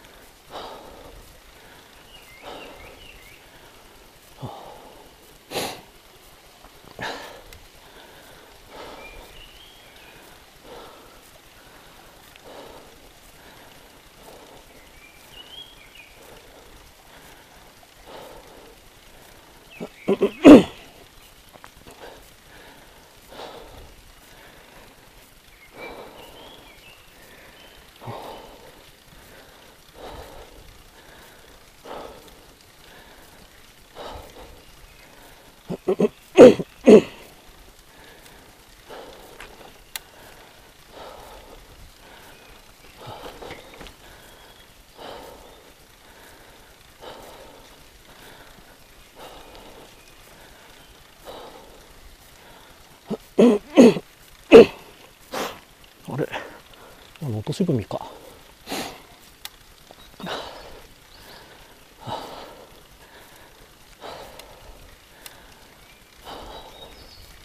ああこんぐらいの勾配だったらきつさがたまんなくていいな疲労が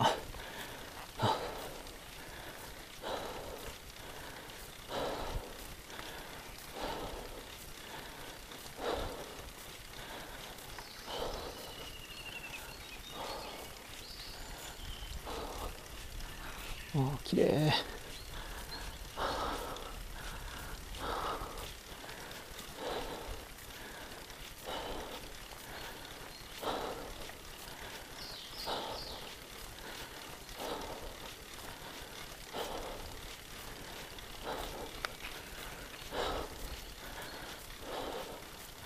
あ水音がしなくなってる。あ離れたな。沢からは。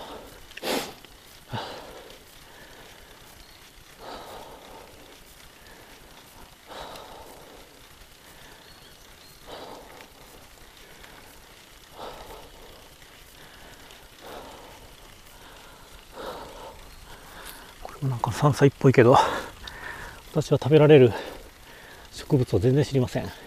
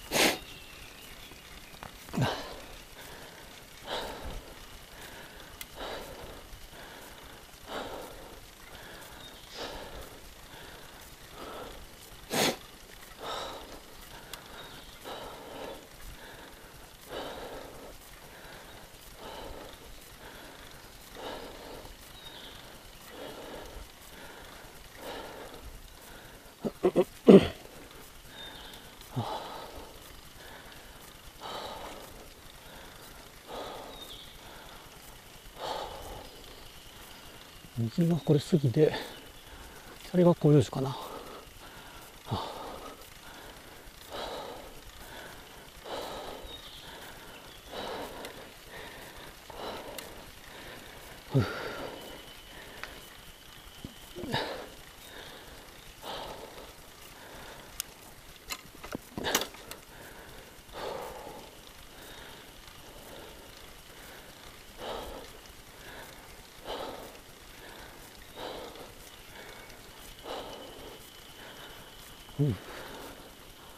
将軍の沢ああこれも福用生産森林組合だ。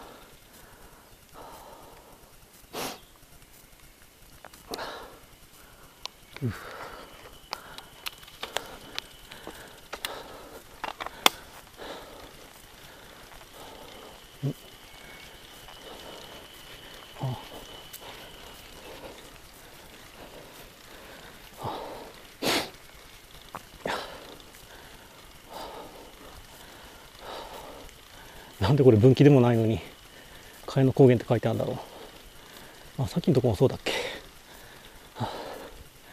でこれは古い方の看板かな。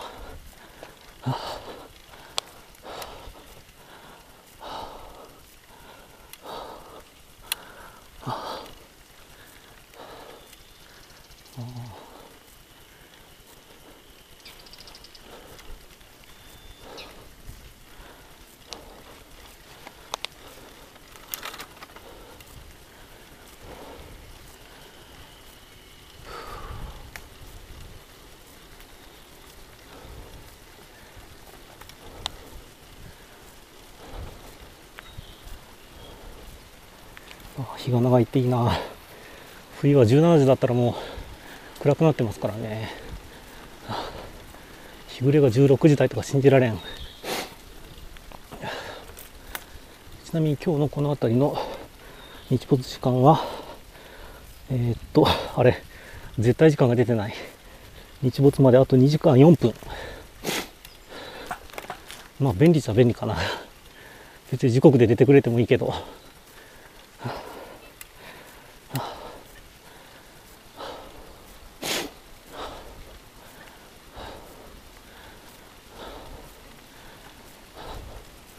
車だ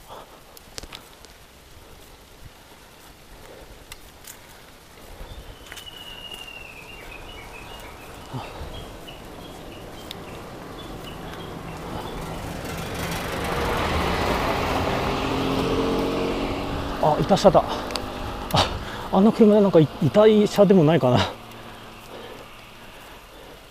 なんかアニメキャラっぽいのが後ろに貼ってある。こんなところで、こんなところでああいうの見るとは珍しいな。まあでも単にガラスに内側から貼ってあるだけだから、いた車ってほどの改造じゃないのか。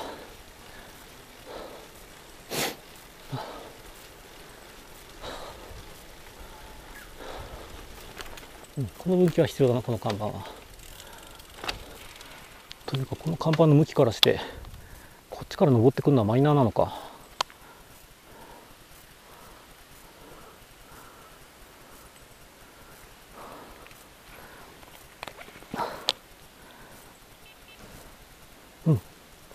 よしもう一息。えっ、と GoPro は残り時間は、まあ、7時間大丈夫なはずなんですけど、えーっと、まだ3時間近くあるな。あとバッテリーも大丈夫か。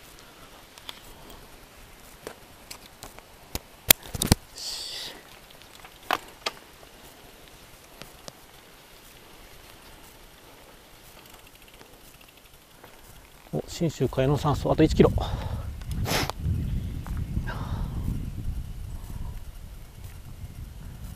ここでももみじ湖のあそうかずっと下っていきゃいいからなこれ。熊出没注意。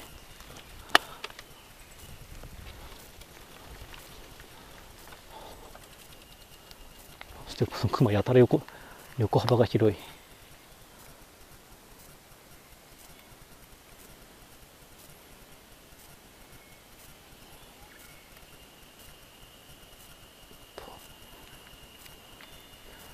入山の際は鈴など持参してください。持ってきてないな。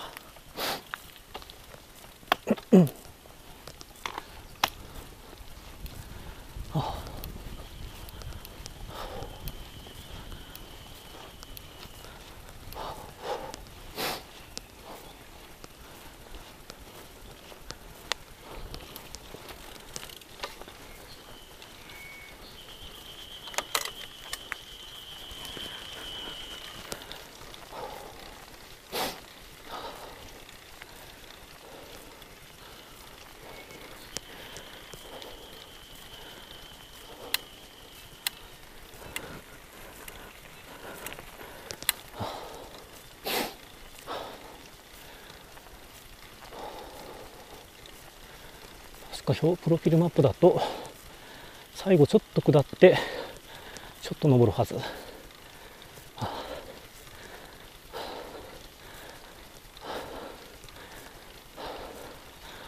おまた車だ。よ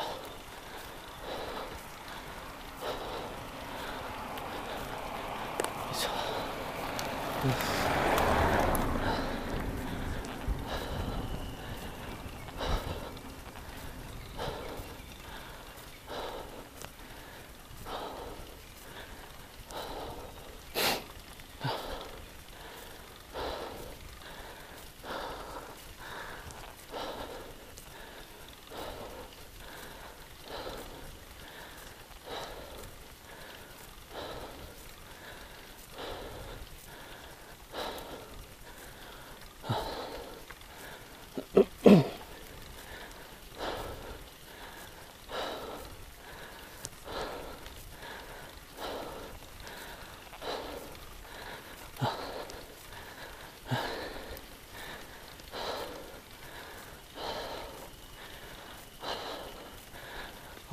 の日が綺麗。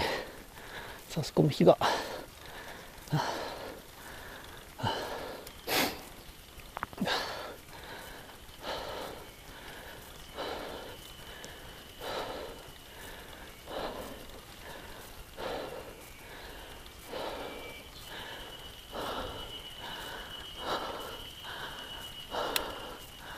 あ見え始めた。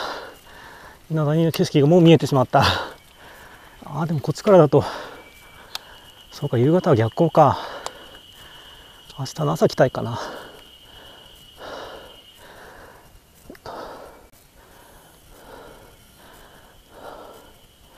こんぐらいかなよし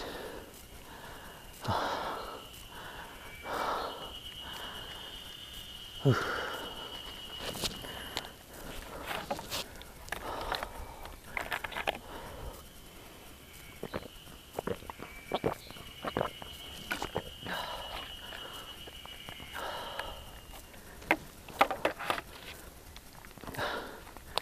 この山の上の方でこの夕方っぽい景色見るっていうのは本当は、まあ、今日は上泊まるからいいんですけどね。日帰りでやってる時にあの日が暮れかけた時にこの山の上にいるのは本当やばいんですよね。でもそれなりにこういう景色は趣深い。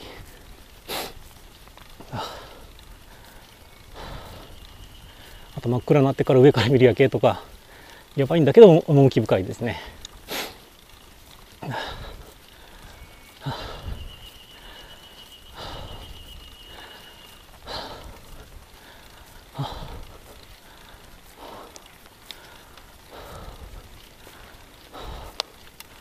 本当なんかこう高原高原な感じがする。道だな。ああ,あ,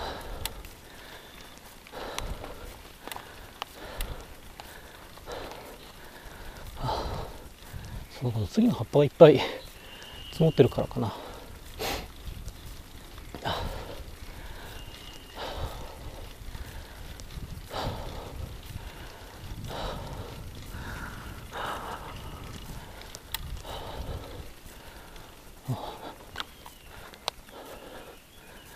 不動が峰と書いて不動の峰っていうのかあ。れ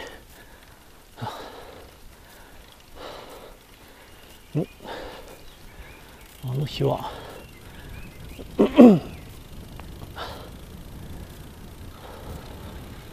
ああ鳥獣供養塔か。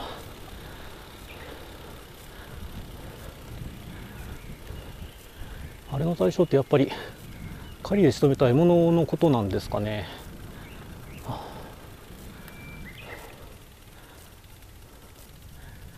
信州海の山荘あこっから下って最後に山荘に向かって上りかな。うわあ結構景色いいな。逆光なだけじゃない。割とくっきり見える。しかし木が邪魔で。この移動しながら目で見ると大体把握できるけど写真で見ると多分邪魔になって見えない。うわそこはやっぱり標高差そんなにないな。割と近くに見えますね。あちょっと開けた。ほんのちょっと。ああ向こう側の斜面の畑かまあ田んぼかになってるせいか、うん、意外と近くに見える。これ夜景外で見られ見られるのかな。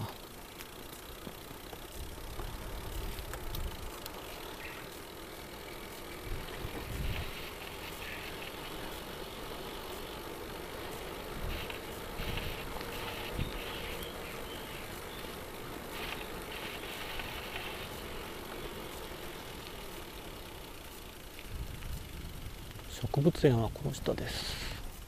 水場荘園。あこの植物園は水場荘と山ん？山口進先生などが欧米各国はじめ全国各地から丹精込めて集められた貴重な数百種類の植物が植えられております。欧米から持ってきたのか水場所プラス集めてきた植物ってことですね。わかりちょっと分かりづらかったけど。うん。現在地があって茅野山荘があってでこの辺り一面に遊歩道があるんですね。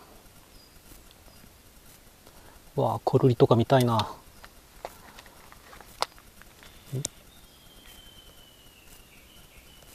なんか音がした。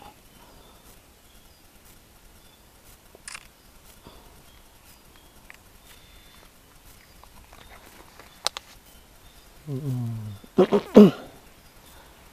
所要時間書いてないから歩き出るのがちょっとためられるなこれ。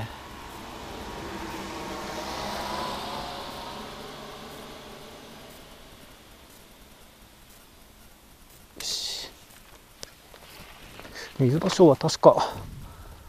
もうちょい前の季節かな。今でもまだ咲いてるんですかね。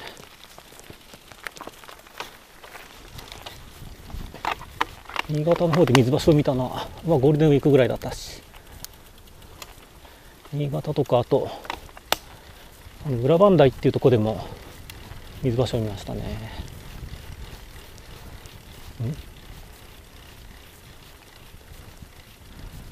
ん？ん？これはさっきの車じゃあやっぱさっきの車だ。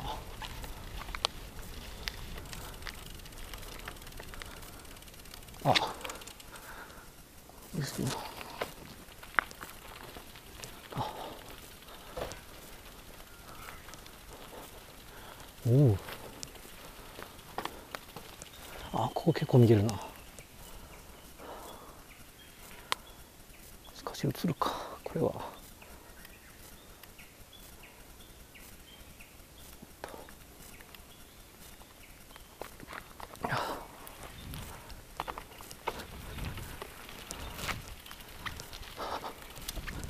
よいしょ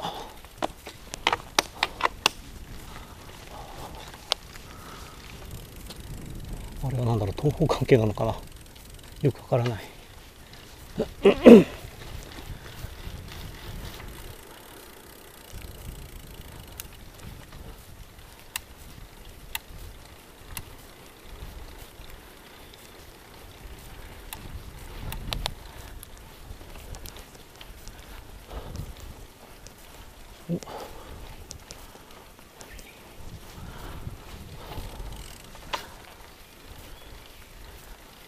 ん。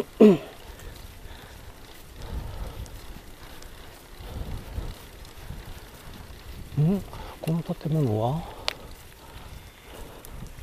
ん。あこれか。もう着いたのか。これがは茅野山荘ですね。ああこれ窓から見えるのか向こうの景色が。すごい。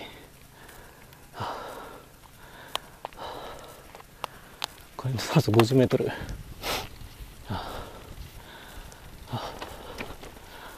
でかいな。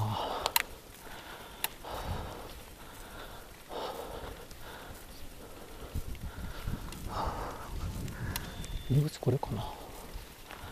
あ。ここだ。あこんにちは。自転車ってどっか置いていい場所ありますかね？あ、いいよどこでも。あどこでも。つかないように。ええ。じゃあちょっとトイレの前のあたりに。今日も朝かなあの？えなんか二往復したとか朝。ええどっからどこですか？したから。ああ、また違う人たちか。ああ多分そうです。私は今日はあのもみじ湖通ってこっちに。登ってきまし。た。あのその人たちはこの下の、ええあの南小のところからあの稲谷の方ですよね。ですよね。途中ずっとこれあの 小さいビデオカメラくっつけて全部映してきました。へえ、なんちゅう。え？あーでもあの山の中の道が好きなんですよ結構。まじゃあ箕輪町あのそうですね。あれとは違うのね。あえ箕輪町のね、ええ。あの競争競争っていうかね、なんとかあレースみたいなのが。そうそうそうそう、うん、あそこになんかタイム書いてあるけど。あヒルクライムか。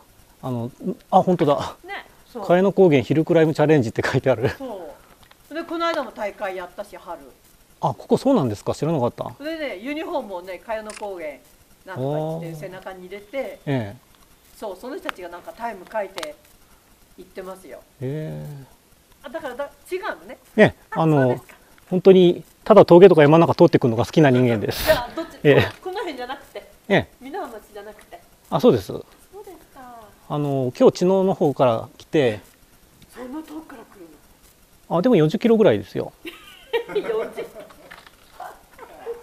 ごい。あの自転車走る人だと100キロ普通に走るんで私はきついですけどね。じゃあ今日ちょっとお世話になりますのでどうぞ。えお。結構アルプスが見えますからね。結構今結構晴れてますね。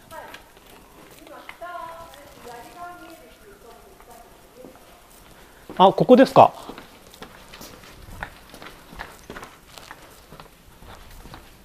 うわ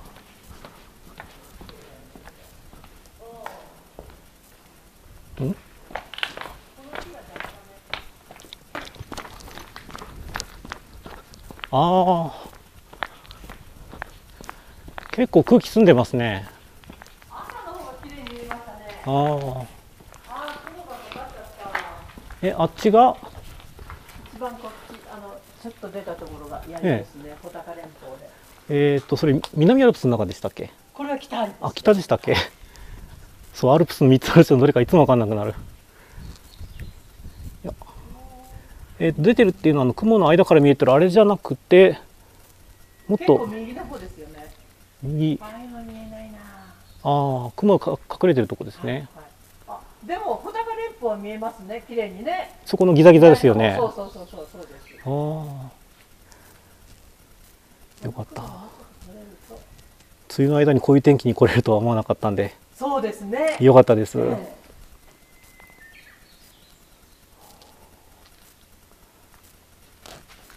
これこの景色ってことはやっぱ夜景も見えるんですよね。はい。そうですそうです。うわーすごいなこれ。綺麗ですよ。今日もこれからバーベキューされる方が泊まられるけれど。ねそう夜景がすごいです。見たいです。あ南アルプスが見えないね。ここから見えるんだけど今日今日もう曇っちゃって。あこんな角度なんですか？ええ千条とかね。え。そうなんですよ。えじゃあみ南と北両方見えるんですかここ？これでそれだと中央アルプスとね三箇所。え左側に中央アルプス駒ヶ岳が見ええる、ね今のあの展望台のそっちのところで、ええ。はい。もうちょっと早いけどもっとよく見えた。えあーあと明日のまだまだ残雪がありますからね、ですね。結構見えてました。ええ。おっと。あ間違えた。いいなあ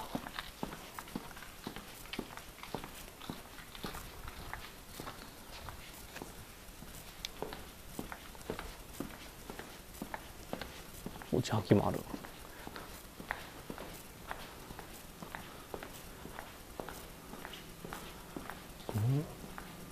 ミルージュ。ヤクルト系か。あ値段普通だ。すごい。高くない。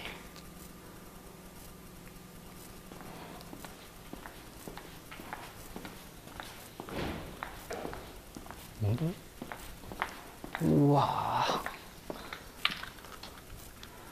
すごいなこりゃ。思ったよりなんか山の上から見たっていうよりは本当に高台から見下ろしてるぐらいの感じですね。綺麗。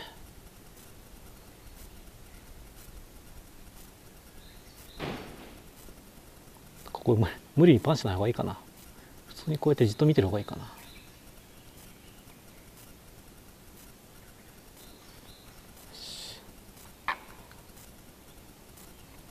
えっとこ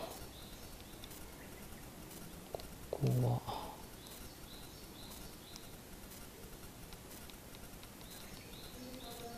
は階層を上げて2枚パノラマかな。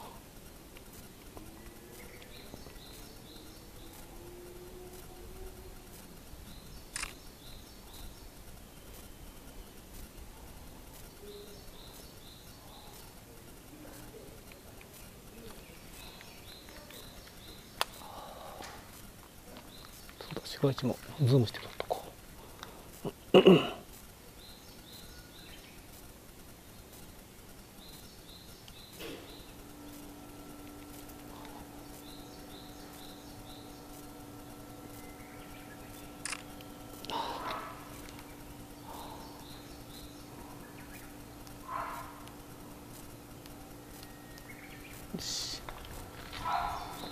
じゃあここに台もあるし。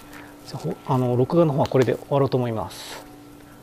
また夜景夜景はこの後スライドショーで追加かな。ではえっ、とこのこの枠じゃないやかな。ついにニコニコ生の方になってしまうけど動画終わります。ありがとうございました。